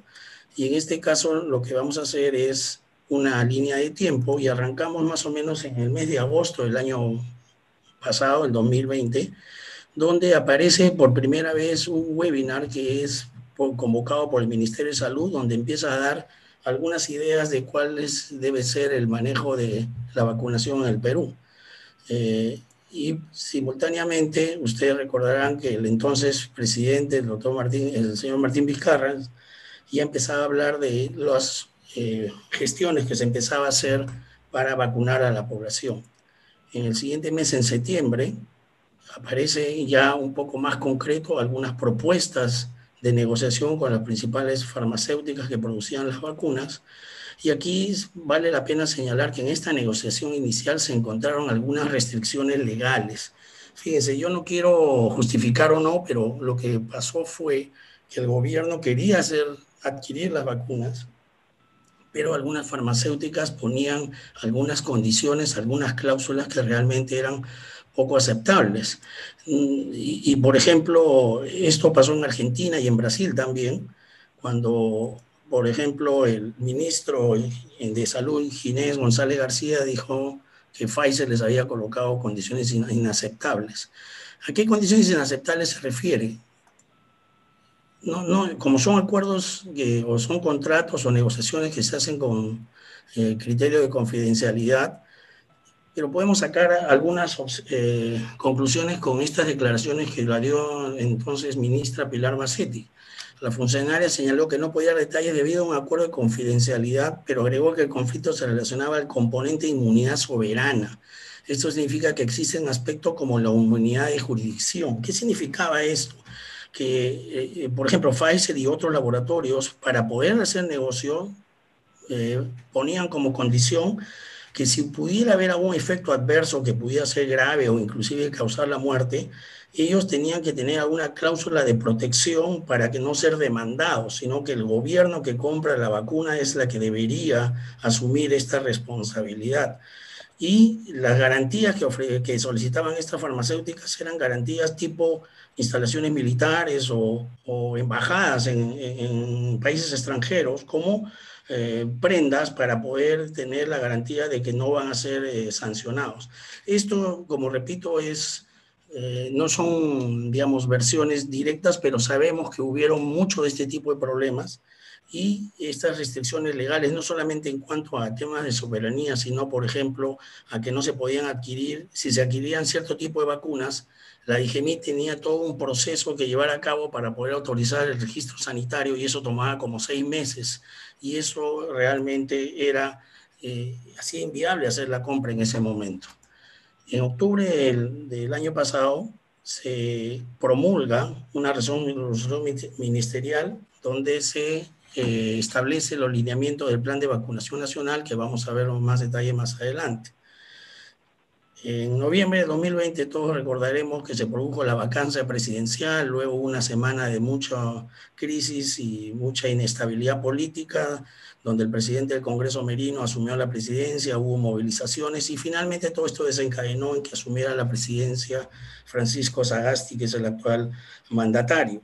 Él eh, dentro de sus gestiones como presidente fue que, y lo ha señalado, que cuando llegó no encontró ningún contrato firmado precisamente por estos asuntos de restricciones legales, pero en ese mismo diciembre el Congreso libera muchas de las restricciones y permite que la DGMIT pueda agilizar sus procedimientos. De esa manera da reinicio a estas negociaciones que finalmente se concretan que el 7 de febrero de este año llegó al país el primer lote de primero 300.000 dosis de Sinopharm y luego llegaron 700.000 completando el primer millón y luego posteriormente con Pfizer llega el siguiente lote que ha venido entregándose en forma eh, semanal, vamos a decirlo así. Este es un poco, digamos, un recuento de qué cosa es lo que ha pasado en el país con respecto a estas vacunas. Ahora, ¿cómo es el plan de adquisiciones? ¿Qué cosa es lo que hasta ahora se puede considerar que es lo más probable que ocurra en el país en cuanto a, las adquisiciones de vacunas? Primero hablemos de Sinopharm. Sinopharm tiene negociado o acordado 38 millones de dosis en total, de las cuales, como ya ustedes saben, llegaron las primeras 300 mil en febrero y las siguientes eh, el 7 y después las, las siguientes 700 mil llegaron el 13 AstraZeneca eh, tiene un compromiso con nosotros de proporcionar 14 millones de vacunas para el segundo semestre de este año. Pfizer eh, también está negociado 20 millones, de las cuales han empezado a llegar como una especie de cuentagotas, 250 mil dosis, después 300 mil, y después están llegando de 50 mil en 50 mil cada semana. Y finalmente tenemos también lo que ya se mencionó, el sistema COVAX, que es eh, una organización o es un modelo de poder producir de varios países, eh, digamos, eh, a través de la Organización Mundial de Salud o UNICEF y estas dos ONG permiten que los países puedan acceder a, a, las vacunas. Y este, más o menos con este tipo de vacunas se está llegando a tener un compromiso de 13 millones 200 mil dosis, de las cuales de AstraZeneca van a llegar a ya pronto y las otras 117 mil de Pfizer son las que ya han ido llegando. Entonces, si nosotros vemos que todavía estos son, digamos, las propuestas más eh, reales, más concretas que pueden existir. Si sumamos las 38 más 14 más las 20 más las 13, estaríamos pasando los 60, 65 millones de dosis que servirían para poder vacunar a todo el país. Pero no hay que hacernos muchas ilusiones porque a veces estos acuerdos no necesariamente se concretan. Pueden ser acuerdos de papel, pero a la hora de la hora pueden haber retrasos, pueden haber otro tipo de problemas o imponderables y a veces no se puede concretar. Y con respecto, esto, esto lo que he mostrado previamente son los, acuerdos más, eh, eh, más cercanos, digamos, pero también se está negociando con Johnson Johnson, con Moderna, con la con Gamaleya, con o sea, la, la, vacuna rusa y también con CureVac, que es la vacuna también de RNA mensajero de origen alemán. Y aquí lo interesante es que hay mucho interés en poder hacer cerrar tratos con Johnson y Johnson, porque como ustedes saben, esta es una de las vacunas que tiene aparentemente una buena eficacia una buena efectividad ya en el campo cuando se utiliza una sola dosis. Y para nuestro país, que tiene una geografía tan accidentada y que es difícil llegar a todos los rincones, sería bastante eh, fácil desde el punto de vista logístico llegar a un punto y colocar una dosis y no tener que regresar dentro de dos o tres semanas para una siguiente dosis. Por eso que hay un interés bastante alto con respecto a adquirir ese tipo de vacuna. ¿no? Ahora, ¿cuál es la percepción de la población con respecto a la vacunación? Y me voy a referir a, a lo que publicó el comercio en base a una encuesta encargada de esta agencia llamada Ipsos, donde les preguntó si es que se van a vacunar o no en diferentes momentos desde semestre del año pasado y este primer trimestre, y esta es la curva. Es decir, en agosto había un 75% de personas que decían que sí se iban a vacunar y después esto a lo largo de los meses ha descendido peligrosamente hasta que en enero de este año alcanzó su punto más bajo, con que solo 48% decía que se iba a vacunar. Si miramos la curva de quienes no se iban a vacunar, este es el comportamiento, o sea, ha crecido hasta este 48, pero afortunadamente en los últimos meses ya hay un poco de restricción. ¿Y por qué había esta tasa alta de no, de no vacuna? Básicamente yo creo que era por dos motivos principales.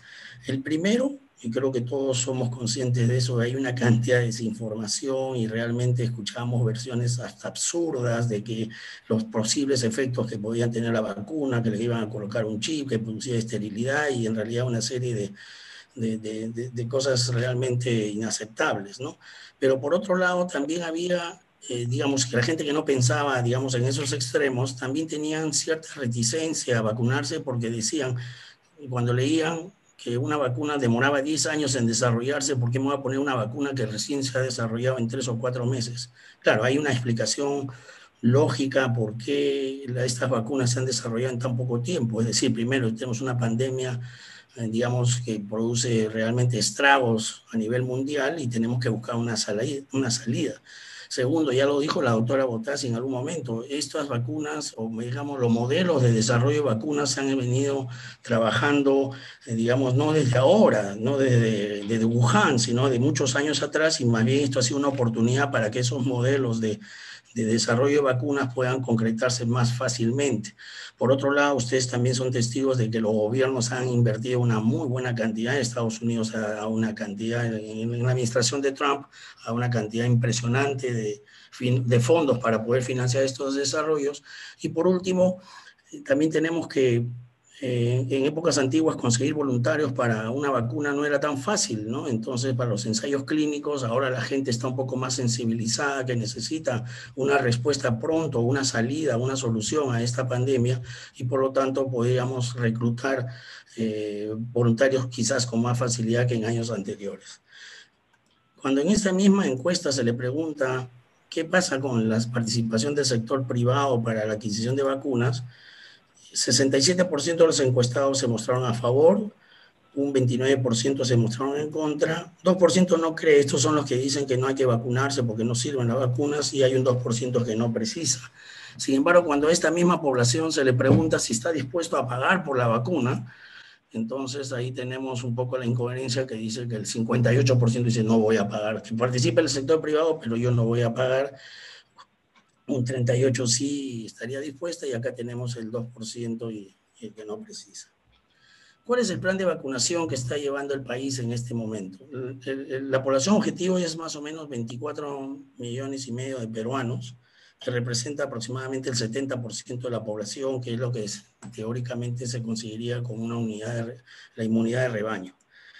Eh, en, esta, en este plan de vacunación que, como les comenté, fue publicado, fue promulgado en octubre del año pasado, el objetivo general es implementar la vacunación segura como medida preventiva contra el COVID-19 y tenía tres columnas vertebrales. Primero, que teníamos que conseguir vacunas seguras y de calidad y todo el manejo de la gestión y todo lo demás con respecto a la vacuna. Segundo, vigilar la seguridad, es decir, que no solamente conseguir vacunas, sino que sean vacunas que tengan quizás mínimos eh, reacciones adversas y que sean totalmente controladas. Y finalmente que ese punto que dado que teníamos una alta tasa de gente que no quería vacunarse es buscar la adherencia a la población a través de un sistema de promoción, información y comunicación. Esas eran las tres columnas vertebrales de este plan de vacunación.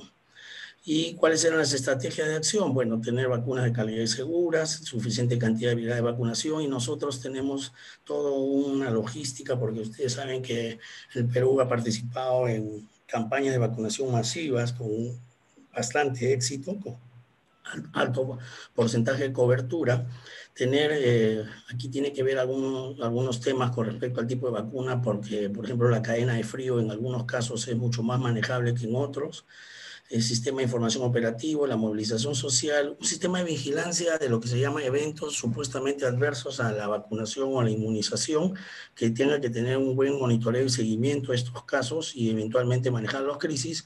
Y en todo caso, que tengamos una buena información y comunicación y que participen todas las autoridades en todos los niveles para poder llevar a cabo este plan. ¿Cómo se ha diseñado el plan? El plan tiene tres fases. La fase 1, que es la que estamos llevando a cabo en este momento, es proteger la integridad del sistema de salud y continuidad de los servicios básicos. Por lo tanto, tenemos que primero se vacuna al personal de salud, al personal militar, a la Policía Nacional, a los bomberos, el personal de seguridad y de limpieza, a la Cruz Roja. Y en el primer momento, la fase 1, se había considerado a los miembros de mesa. Como todos ustedes saben, el próximo 11 de abril se van a llevar a cabo las elecciones generales y lógicamente los miembros de mesa van a estar en contacto con toda la población y podría ser considerarse una población en riesgo. Lamentablemente no se ha podido concretar esto y más bien lo que ha cambiado gracias a la llegada de las vacunas Pfizer por COVAX que el gobierno lo que ha decidido es cambiar este rubro de los miembros de mesa por las personas de tercera edad y ya comenzó la vacunación de los ancianos de más de 85 años y después han venido, se está viniendo bajando la edad hasta llegar a los 60 que se considera el grupo de la tercera edad. Y estos todos están incluidos en esta fase 1. La fase 2 es reducir la morbilidad severa y la mortalidad en población de mayor riesgo. Y en este caso, como aparentemente se pronostica, sería muy raro que exista una sola primera vuelta en abril debido a los pronósticos electorales y lo más probable es que haya una segunda vuelta, eh, si no me equivoco es al, mes y medio, en junio, entonces parece que va a haber tiempo para que los miembros de mesa sí estén vacunados para la segunda vuelta. Ya no se ha descartado que sea para la primera, pero sí van a estar vacunados para la segunda. Se va a vacunar a las comunidades indígenas, a las personas privadas de la libertad, en centros de reclusión, y también se va a vacunar en esta fase 2 a aquellas personas que demuestran que tengan comorbilidades y lo sea una población vulnerable. Y finalmente la fase 3, que es reducir la transmisión de la infección en la, en la continuidad y generar inmunidad de rebaño, vamos a tener nosotros a toda la población entre 18 y 59 años para cumplir lo que se ha previsto. Esta es eh, una página web del ministerio que se llama el vacunómetro. Eh, esta es la meta vacunada en la primera fase era de 446 mil, ya se llegó al 100%, pero ¿qué pasa? Que debido a ese cambio por las personas de tercera edad, entonces ya la, la, cifra va a seguir aumentando y por eso es que hay cifras negativas porque no han sido consideradas inicialmente. Eh, esto es más o menos la proporción que han recibido una primera dosis y todavía falta, un, tiene un 56% eh, se ha cumplido con la segunda y todavía falta la diferencia para completar. Y en este mapa se ve cuál ha sido la distribución de las vacunas en los diferentes departamentos. Como decía, en la primera fase se han vacunado la primera. Aquí estoy, me tocó a mí recibir la primera dosis el 16 de febrero y la segunda dosis el 11 de marzo, la vacuna Sinopharm. Entonces, teóricamente, eh, todo el personal de salud ya nos ha tocado, a la gran mayoría nos ha tocado ya eh, ser vacunados y estamos en esa fase. Eh, para terminar, fíjense, eh, presten atención a esta página web que se llama Time to Herd, significa tiempo para el rebaño. Voy a, a convocarla, un ratito salgo de esto y voy a presentarla acá. Eh, por favor, me confirman si se ve. Ok, fíjense, esta página es bien interesante porque tiene un mapa de todo el mundo, con todos los países, y donde por ejemplo, aquí en este caso estamos hablando de Estados Unidos, que como se ha mencionado tiene casi un 20% de su población ya está vacunada. Y esto es lo importante, tiene una tasa, un ritmo de vacunación de más o menos el 0,76 de la población que se vacuna diariamente, para alcanzar eh, un valor de 70% que es estandarizado. Entonces, para Estados Unidos, con esta población ya vacunada y con este ritmo, le faltan 132 días para alcanzar la inmunidad de rebaño. Eso es, eso es simplemente lo que dice esto. Entonces, si por ejemplo vamos a mirar otro país, España. España tiene 7% de población vacunada, solo tiene una tasa de 23 y necesita prácticamente casi dos años para poder completar. Francia, por ejemplo, 429 días. Si vamos un poco por Asia, vamos a ver Rusia. Rusia también está por ahí, 469. Vamos a ver Israel. Israel le quedan solamente dos meses, 61 días, porque ha vacunado prácticamente al 56% de su población y tiene una tasa de cero, casi 0,5%. Ahora vayamos a lo que nos interesa, Latinoamérica. Brasil tiene 600 días de por medio para alcanzar la inmunidad de rebaño. Argentina, una cantidad parecida, son más o menos dos años. Veamos Chile. Chile tiene 24% de vacunación con un ritmo casi de 1%, entonces le faltan prácticamente tres meses para poder completar la inmunidad de rebaño. Entonces, lógicamente, ¿y Perú? Bueno, acá está Perú. 2.242 días, que si dividimos entre 365, significa seis años para poder la inmunidad. Pero seis años a este ritmo de 0.06% de vacunación diaria. ¿Y por qué se mantiene esto? Porque no están las vacunas en la cantidad suficiente para poder nosotros aumentar este ritmo y alcanzar este 70% con un ritmo de vacunación más, más eh, rápido que pueda tener una cobertura. O sea, esto no es para asustarse, esto es simplemente para decir que si seguimos con el ritmo que tenemos actualmente, vamos a necesitar seis años para alcanzar esa inmunidad. Pero lógicamente estamos esperando que lleguen las otras remesas de vacunas para poder nosotros tener un ritmo de vacunación diaria más, más, eh, más importante y poder alcanzar los eh, propósitos que nos hemos planteado en este plan de vacunación. Bien, eso sería todo. Muchas gracias. Muchas gracias, doctor Rodríguez. Y vamos a pasar ahora a la parte de preguntas y respuestas. Hay muchísimas preguntas y respuestas en el tintero. Doctor Rodríguez, ¿le parece a usted empezamos con las preguntas destinadas al doctor Espinosa? Ya, perfecto, sí. Gracias, Jorge. Doctor Espinosa, a ver, nos ha mostrado datos muy interesantes desde el punto de vista epidemiológico y ha traído a colación el fenómeno que sucedió en Wuhan.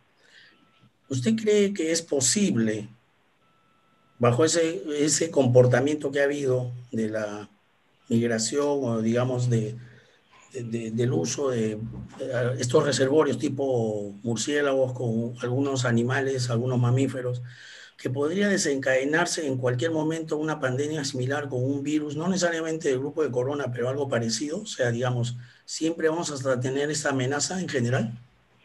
Yo creo que sí, y más que todo la, la respuesta eh, sería no cuándo, sino dónde va a aparecer el siguiente, eh, la siguiente epidemia.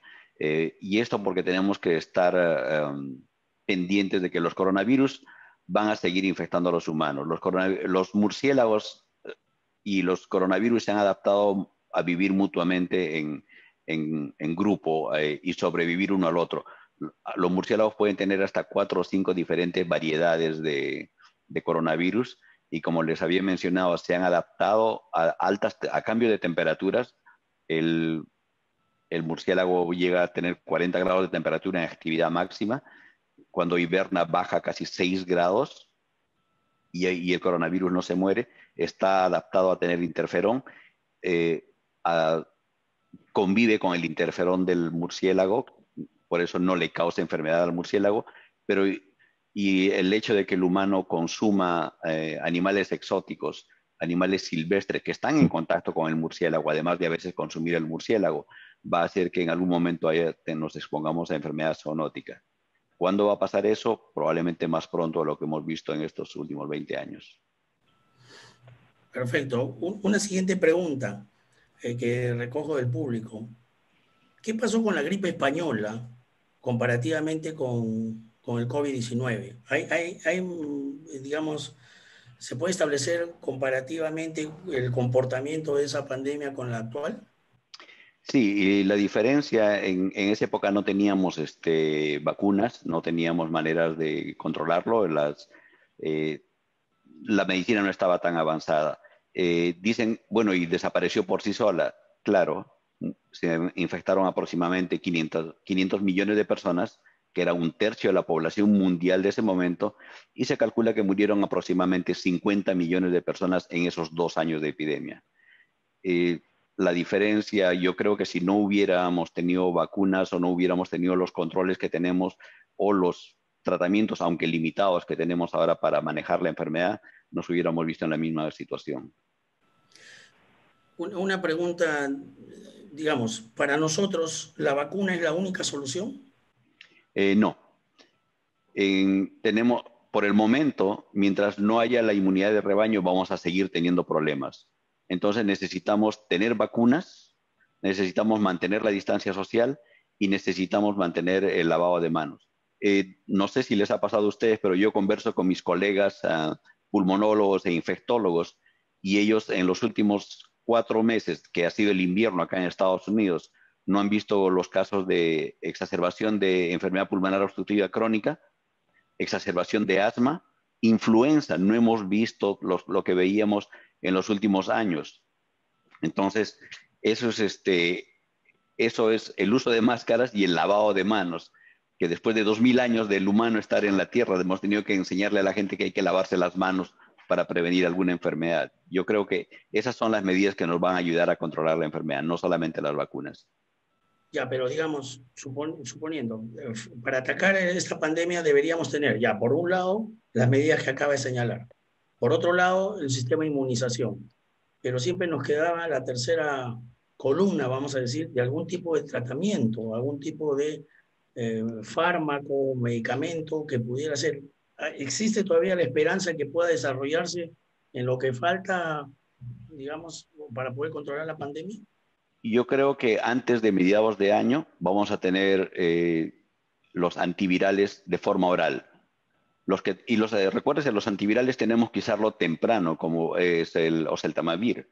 El problema que estamos utilizando ahora, el único antiviral aprobado, que es el Remdesivir, lo, lo hemos utilizado en personas que están en estadio crítico. Ya se perdió la oportunidad de tratar al paciente. Los antivirales se deben dar en la primera semana de, de enfermedad para cortar la, para cortar la progresión y la replicación del virus. Por el momento solamente tenemos uno que es en forma endovenosa. No es factible darlo a una población en casos de, pandemia.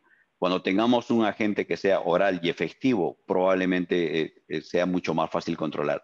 Pero estamos bastante cercanos a eso y yo creo que en los próximos, antes de los seis meses, deberíamos tener un antiviral oral con buena eficacia una última pregunta que quería no hacerla, pero no puedo resistir la tentación. ¿Ivermectina? Eh, el día de ayer el Colegio Médico eh, ya volvió a mandar una carta al Ministerio de Salud para evitar que se siga promoviendo eso. La Organización Mundial de la Salud ha pedido que se deje de utilizar.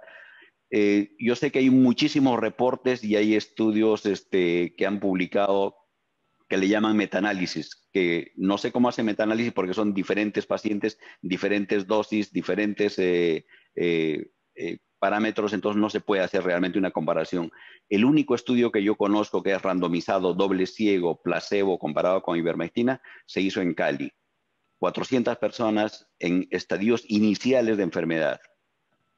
se les dio ivermectina y a 400 se les dio placebo ninguna diferencia en absoluto, cero, cero beneficio para, para ivermectina. Está por publicarse, conozco a la gente de, que hizo el estudio y les pregunté que por qué se atrevían a hacer el estudio y me dijeron por la experiencia exitosa de Perú.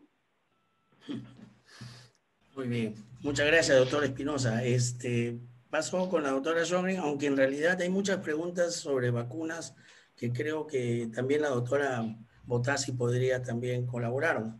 Doctora Schogren, eh, si yo me pongo una primera dosis de una vacuna y por X razón no alcancé la segunda, ¿puedo ponerme una segunda dosis de otra vacuna? No, en este momento no es aconsejable. Hay algunos estudios, hay alguna inquietud al respecto y se va a tratar en ensayos clínicos si es que hay una ventaja al respecto. Uh, inclusive para los, la, la, tercera dosis. Tal vez se piensa, no si usted recibió Moderna o recibió Pfizer, y luego a los seis meses puede recibir una Johnson Johnson y protegerse más. Todas esas preguntas están todavía en el aire, no se sabe bien y, en, este momento lo que hay que aconsejar es completar la, la inmunización con la misma vacuna, la primera y la segunda dosis. Una pregunta que trata de resumir muchas inquietudes. Eh, cuando uno trata, mide, bueno, hace un ensayo clínico y determina la eficacia, 91%, 95% de diferentes tipos de vacunas, eso queda desde el punto de vista mm, conceptual, es un ensayo clínico y le da el visto bueno para usar la vacuna. Pero habría una forma de medir la post, es decir, esta vacuna tiene 91% de efectividad, pero produce un, vamos a decir, una cifra, un 60% de respuesta inmune. O sea, ¿por qué no medir la eficacia o la efectividad de una vacuna con la respuesta inmune que genera? Para hacerlo comparativamente. Podría ser, y hay, hay, situaciones en las cuales se hacen, esos son los, uh, la fase 4. O sea, la fase 3 es la que hemos visto eh, contra placebo, la fase 4 es para ver qué cosa es lo que pasa con, ya sea con una vacuna o con un fármaco, ah, una vez que ya se ha dado, y, en cuanto a efectos secundarios y en cuanto a la bondad del, del producto. O sea, sí, se puede hacer, es costoso, usualmente no hay mucha ah, atención porque una vez que ya sale a la venta, lo que quiere el mercado es comprar o vender y no tanto mirar qué pasa, a menos que haya cosas muy, muy, uh, unas crisis. Uh, pero de, de, hacerse se puede hacer, definitivamente. Es cuestión de, de tomar la población y luego tener la, las medidas y el dinero para hacer la fase 4. En forma individual, por ejemplo, yo me he vacunado y quiero saber si realmente tengo una buena respuesta. ¿En qué momento debería hacerla? Y si se justifica, digamos, para mi tranquilidad. Se puede hacer, les mostré en una de las diapositivas que hay cuatro ensayos y probablemente muchos más, pero esos son cuatro bastante establecidos, que se puede ver cuál es la respuesta de la vacuna. Como dijo la doctora Botassi, se está todavía trabajando al respecto para ubicarnos cuál es la cantidad y cuál es el mejor test que podemos usar para evitar los miles y miles y miles de personas que tenemos que utilizar ahora para los ensayos clínicos para ver la correlación. Digamos, en poblaciones y en estudios de vacunas se hace, Ah, en forma individual, o sea, si usted me pregunta yo quiero saber, yo le aconsejaría que no, porque en forma individual todavía no se sabe ah, cuál es su cuál cuál va a ser su respuesta. Lo que usted tiene que hacer es recibir sus dos vacunas como lo hizo y bueno, allá vamos y seguir usando mi mascarilla y seguir haciendo todas las medidas de protección, por supuesto. Luis, sí, quería, quería aumentar en, en eso justamente. Eh, la doctora Sharogen mostró las tablas de la vacunación y cómo a partir del día 10 eh, de la primera dosis se empieza a diferenciar e igual en el segundo, después de la segunda dosis, a partir del día 10, cómo es la diferencia de que ya una persona tiene anticuerpos. El, acá en Estados Unidos acaban de, el día de hoy justamente mencionaron de que han detectado 89 casos de personas que estaban completamente vacunadas. Quiere decir 14 días después de la segunda dosis. Estas personas ya tenían más de 14 días después de la segunda dosis y, tuvieron COVID. Se espera que haya un número de personas que tengan COVID porque es este, obviamente la vacuna no es 100%. Sin embargo, cuando usted compara estos 89 casos comparados a la cantidad de gente que recibió la vacuna en Michigan, estamos hablando del 0.1% de personas que después de 14 días de la segunda dosis hicieron COVID. Ya la protección es muchísimo más o muchísimo mejor de lo que esperábamos. Probablemente haya personas que hayan hecho y no se hayan dado cuenta, porque para eso son los estudios clínicos. Pero una vez que uno recibe las dos dosis, por lo menos con estas vacunas, que se han utilizado acá, eh, la protección es muy, muy alta. Yo, yo, entiendo que hay muchas preguntas que nos gustaría tener la respuesta, pero también sabemos que estamos recién conociendo, estamos recién implementando planes de vacunación masivos, entonces necesitamos todavía un poco más de tiempo y más de información. Entonces, pero quizás alguna información todavía sí puede ser este, productiva en este momento. Doctora Joren, cuando a una persona le dio COVID, dicen que no puede vacunarse hasta después de 90 días. Eso es lo, que se, se, ha señalado. Pero, ¿necesito las dos dosis o puedo con una sola dosis ya estar protegido? Es muy buena pregunta y está en este momento en, en fase de estudio porque se ha visto que, que pacientes que tuvieron COVID, si se les da una vacuna, responden muy bien, elevan sus, sus anticuerpos y es posible de que, lo, que, que salgan bien. Sin embargo, esto no se puede aplicar a toda la población porque hay una variedad de respuestas. O sea, por ejemplo, si a mí me da COVID, puede ser que mi respuesta de anticuerpos sea baja mientras que si le da a, usted, pueda que su respuesta de anticuerpos sea alta. Entonces nos tenemos que igualar con la vacuna. Eh, nos tenemos que poner igualitos para estar protegidos para el futuro. Entonces, en este momento, los, eh, los que han tenido COVID todavía necesitan sus dos vacunas. Hasta que no sepamos, en realidad, hasta que estos estudios, esta inquietud de utilizar una sola dosis, de las vacunas que necesitan dos. Claro que si se va a poner la, la Johnson y Johnson, que es una sola dosis, entonces bueno, ya está, con una. Pero ah, las que necesitan dos dosis todavía aconsejamos que se pongan las dos. Ok, muchísimas gracias. Sí, sí, doctora, por favor. Quisiera tal vez agregar a la discusión que eh, si estamos viendo cómo se comporta la inmunidad que llamamos al virus natural, eh, especialmente cuando se evalúan lo que se llaman los sueros convalecientes, que también eso es como una pauta para determinar en averaje cómo reacciona la población cuando tiene una inmunidad natural contra una infección, ¿no? Eh, vemos que es muy variable. Como dijo la doctora María, hay cierta gente que a lo mejor tiene eh, una buena cantidad de anticuerpos convalecientes y otras menor.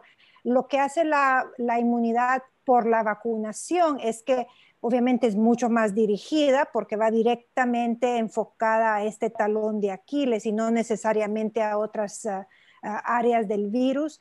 Y lo que hace es que eleva a que toda la población, mediante el esquema de vacunación, a que esos títulos de anticuerpos sean muchos más altos. Y recuérdense también que hay que no olvidarnos que aunque no se conoce exactamente eh, el rol completo de las células T o de las, del, componente celular, hay un gran eh, impacto del, del, componente celular que se puede modular con las vacunas, especialmente con las diferentes formulaciones. Entonces, al final yo creo que aunque una persona haya tenido el COVID o expuesto al virus que montó una respuesta X, la inmunización con la vacuna va probablemente a, balancear un poco ese averaje. Por eso es que aunque no sabemos en efecto si una, una, dosis o dos o lo que se necesite, eventualmente hasta refuerzos, pero hasta ahorita vemos que lo aconsejable es que sigan el, el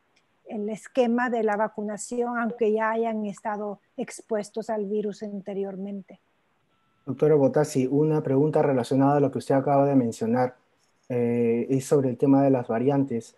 Ah, usted mencionó en su charla que una manera de tratar de encontrar una correlación entre estudios en vitro de dosaje de anticuerpos neutralizantes y las, consecuencias clínicas de esto eh, está en camino, pero la pregunta es, si nosotros, eh, em, con respecto a las variantes, ¿hay alguna otra manera afuera de, de estos estudios de correlación eh, de anticuerpos, de niveles de anticuerpos neutralizantes que nos puedan hacer predecir cómo es que las vacunas se van a comportar y si la hay, de, en, qué forma podríamos nosotros verlo en el futuro o necesariamente tendríamos que esperar resultados eh, en posteriores?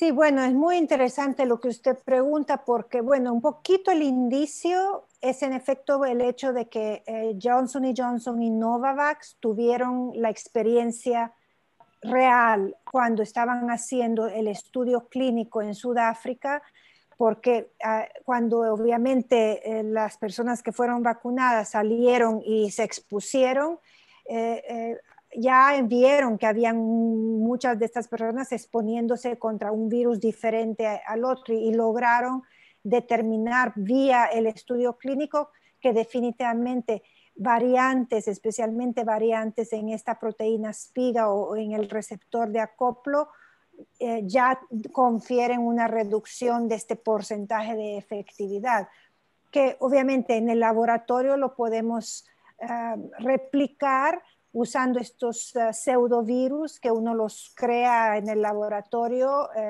que son parecidos al virus circulante en lo que más se pueda, o haciendo estudios ya más un poquito más complicados donde uno cultiva eh, las placas del virus y obviamente habría que tener todos los diferentes virus circulantes en el, en, el laboratorio para, para, poder ver cómo, cómo inhiben estas placas virales en, en, el laboratorio. Yo creo que aquí lo, lo importante es que las predicciones ahorita, por lo menos en el área de, general, en averaje mundial, es que todavía vemos una gran predominancia de la variante que originó en el Reino Unido. Y ese realmente no está causando una gran divergencia con respecto a um, la efectividad de las vacunas. La que están sí en más um, críticas, que estamos muy preocupados, es en efecto la de Sudáfrica, para el continente obviamente africano también, que ya está prácticamente, hay países que más del 50-60% de las infecciones son con esta variante y en Latinoamérica es la variante brasileña, que es prácticamente igual que la que parecida a la, a la de la que originó en Sudáfrica. Y de ahí yo creo que es también ver qué más podemos hacer como predicciones. Y por eso es que esos estudios de laboratorio son rápidos para poder confirmar qué tanto podemos predecir esa pérdida de efectividad. Y, y, para terminar, ese, de nuevo, que entonces me encantó ver ese mapa donde predice el um, tiempo para llegar a la, a la, inmunidad rebaño de acuerdo a qué tan rápido distribuimos las vacunas, porque si dejamos que pasen estos uh, dos años con, un porcentaje uh, a paso de tortuga, vamos a definitivamente tener que regresar a, continuar este tipo de vacunación con otros tipos de generaciones de vacunas y eventualmente vamos a, nunca lograr realmente cortar que este virus siga circulando en nuestras comunidades. Una pregunta también relacionada a la cuestión de, de variantes, eh, que, que, cubre varias preguntas del público las variantes, tanto la variante del Reino Unido como la variante de Sudáfrica y la brasilera, se fueron identificadas en países que tienen capacidad de, realizar vigilancia genómica. Lamentablemente muchos países, yo creo, incluyendo el Perú, no tienen la capacidad de, hacer esto, este tipo de seguimientos, por lo, por lo que yo tengo entendido. ¿Cuál es el, el, el, ¿Hay en este momento algún esfuerzo a nivel eh, mundial o global de tratar de asistir a los, a los, a los países eh, que no tienen estas capacidades para tratar de, encontrar variantes que se generan y cuál sería el potencial impacto de, la carencia de estos recursos.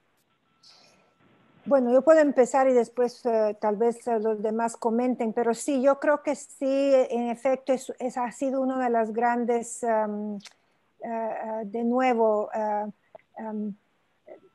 pues pérdidas de poder eh, tener estos sistemas de, salud pública pues eh, eh, fuertes. Tengo que decir que hasta en Estados Unidos no ha sido uno de los países donde hemos logrado tener secuenciación genómica bastante rápida y eficiente, igual como vimos a principios también la situación diagnóstica hay ciertos países que tienen mucho mejor eh, infraestructura, pero tiene ustedes toda la razón. Van a haber países que va a ser muy difícil también acceso de insumos, el costo, eh, obviamente es, agregarlo a, otra cosa más que hay que hacer en la, estrategia de salud eh, pública. Pero yo creo que se puede extrapolar también en lo que se está viendo, por ejemplo, si uno considera que aquí en Houston ya se han detectado las cinco variantes, ciertamente la que está más predominante sigue la del Reino Unido, pero eso ya indica que es muy probable que todas las variantes están circulando en todo el continente latinoamericano. Ahí es de ver qué tanto también eh, con respecto a, cómo circula el virus, qué tan, qué tan comunitario es, cómo es que obviamente también la, demografía de cada ah, pues, individuo y, y, nuestro propio eh, pues, eh, cultura y, y, prevención usando estas estrategias no farmacéuticas van a bloquear de que vaya a haber más um, virus uh, variante que vaya a retomar nuestra población. Gracias. Una pregunta dirigida para todos los ponentes y, abro el panel para quien quiera animarse a responderla. Hay preocupación de algunos de los participantes en cuanto a aspectos éticos en los ensayos clínicos a futuro sobre todo en el, en el caso de las vacunas en las que ya tienen resultados de fase 3 y las preguntas eh, en común tienen que, cuáles son los comentarios de los panelistas en cuanto al aspecto ético de, darle placebo a un grupo de personas si ya sabemos que la, potencial efectividad, si, si, si aún así esas vacunas no se hayan eh, testeado en, en poblaciones distintas como por ejemplo la de niños. Bueno, yo puedo tal vez empezar y justo ah, hemos, como mencioné en varias de mis diapositivas, yo oigo mucho de estas ah, reuniones de trabajo del, no solo de la Organización Mundial de la Salud, de COVAX y otros, y esa ha sido una discusión muy ah, constante, ¿no? De, de, obviamente la mm, eh, éticamente ya no se van a poder hacer ciertos estudios de doble ciego utilizando obviamente el placebo. Eh, el hecho de que ya hay vacunas de distribución relativamente en masa, cómo eso puede facilitar también el, estudio clínico de nuevas vacunas.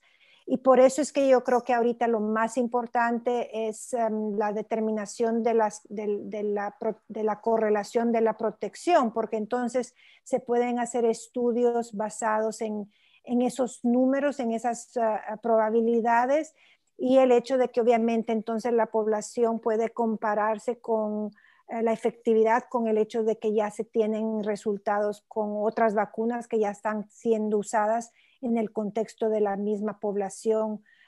y eso es uno de los tópicos que ahorita realmente son de mayor urgencia, es cómo diseñar los nuevos eh, fases clínicas para nuevas vacunas en el contexto, como mencionamos, de tener o no tener eh, eh, em, los correlates de protección.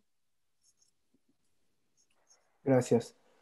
Eh, doctor Rodríguez, una pregunta para usted. Em, eh, desde el punto de vista de la salud pública, eh, en el específico caso de Perú, algunos participantes preguntan cómo es que el gobierno peruano o los, ah, las personas que están encargadas de salud pública en, pública en Perú podrían incrementar la confianza de la población en las vacunas disponibles en Perú si, por ejemplo, aún aún no se, no se cuentan con, con, con, resultados de de fase 3 para la vacuna de Sinopharm, a pesar de que está eh, dándose eh, en, Perú. ¿Cuáles serían las, las, potenciales estrategias a nivel de salud pública de poder incrementar la confianza del público eh, para la vacunación? Bien, yo creo que es una pregunta muy importante porque tiene varios, enfoques. Si, si nosotros nos simplemente nos circunscribimos a lo que significa vacuna, entonces podemos partir por ese punto de vista. Es decir, en este momento, como se ha señalado, la mejor forma o digamos el mejor, la mejor arma o el mejor instrumento que tenemos para poder controlar la, eh, la pandemia es a través de la vacunación. Punto. Número uno. Si todos estamos de acuerdo con eso, entonces, ok, vamos a, a, a tratar de hacer entender qué significa vacunarse y qué cosa es lo que tenemos. Lamentablemente, pues, este, esto es una vorágine de desarrollo científico que tiene diferentes aristas y que lamentablemente uno de los problemas que yo veo acá, y ha sido mencionado, es la desinformación. Entonces, la desinformación genera desconfianza. Entonces, si nosotros queremos que la gente tenga nuevamente confianza en un recurso digamos, de salud pública, como es la vacunación de poblaciones para poder controlar este tipo de problemas.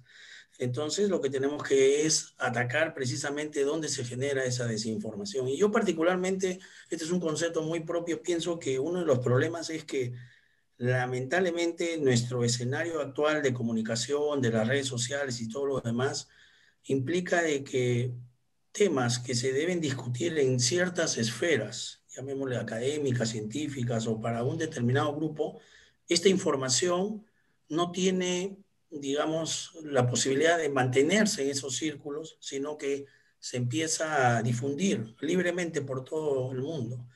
Y lógicamente, a la hora de que se difunda, empiezan las distorsiones, empiezan a, ver las, las posiciones tendenciosas, etcétera, y empiezan a utilizar indebidamente algunos conceptos que finalmente desencadena en, versiones que ya lindan muchas veces con lo absurdo, como había comentado. Entonces, yo creo que una de las campañas, y creo que en el plan de vacunación se menciona claramente que tiene que haber un programa claro de comunicación donde se especifique realmente cuáles son los pros y los contras que pueden existir, los problemas, los riesgos, etcétera. Que se entienda perfectamente que la conclusión final es que tenemos que vacunarnos pero tiene que ser puesto una campaña de, por expertos que manejen estos términos y que nosotros mismos como, digamos, personas que tenemos algún tipo de injerencia en toda esta información, tratemos de que sea de la mejor manera. Estos webinars sirven también para hacer entender a estas personas que asisten para que a su vez repliquen la información que sea lo más fidedigna posible y que no salga distorsionada. Fíjense, las redes sociales es un potente comunicador pero ¿cuál es el problema de las redes sociales? Que uno puede poner cualquier cosa y no hay ningún tipo de filtro. No hay ningún tipo de gente que pueda decir, oye, publica eso porque eso es correcto. Uno va a un periódico, envía un artículo y no se lo van a publicar porque uno lo manda, sino tiene que ser pasado por una revisión para ver si efectivamente lo que se está con el contenido tiene el valor que quiere dársele. Pero en redes sociales no existe esos filtros, no existe esas restricciones y por lo tanto uno es libre de poner cualquier cosa y esto generalmente trae. Yo creo que la, la, la, la labor que debemos hacer es hacer entender a la gente que cuando le viene algo, no lo, no lo replique si hasta no estar segura de que tiene una fuente confiable o no ha podido contrastar si esa información es adecuada. Entonces, este que es un problema de desinformación en general de la salud, se hace más particularmente explícito en el tema de la vacunación, porque de por sí ya hay gente que viene con un, un background, vamos a decirlo así, de, de que está en contra de lo que es vacuna. Aquí hubo mucha discusión sobre el timerosol, el autismo, y hay, hay una serie de, elementos que han venido contaminando un poco la, información. Pero creo que tenemos que seguir haciendo esfuerzos, empujando el hombro para hacer entender que en este momento, si queremos controlar la pandemia, si queremos regresar quizás a una normalidad parecida a la que teníamos antes de ella, tenemos que vacunarnos y tenemos que seguir explorando y buscando alternativas en ese sentido. Muchas gracias, doctor Rodríguez. Y con esto, a pesar de que hay muchísimas más preguntas en el tintero, eh, vamos a dar por concluida la sesión. Les agradecemos a todos los participantes por el tiempo, les agradecemos especialmente a los ponentes por el gran esfuerzo en tiempo, sacrificio y, y, eh, esfuerzo que han hecho por esto, por, sobre todo uh, por el bien de nuestro país. Muchas gracias a todos y que tengan muy buenas noches.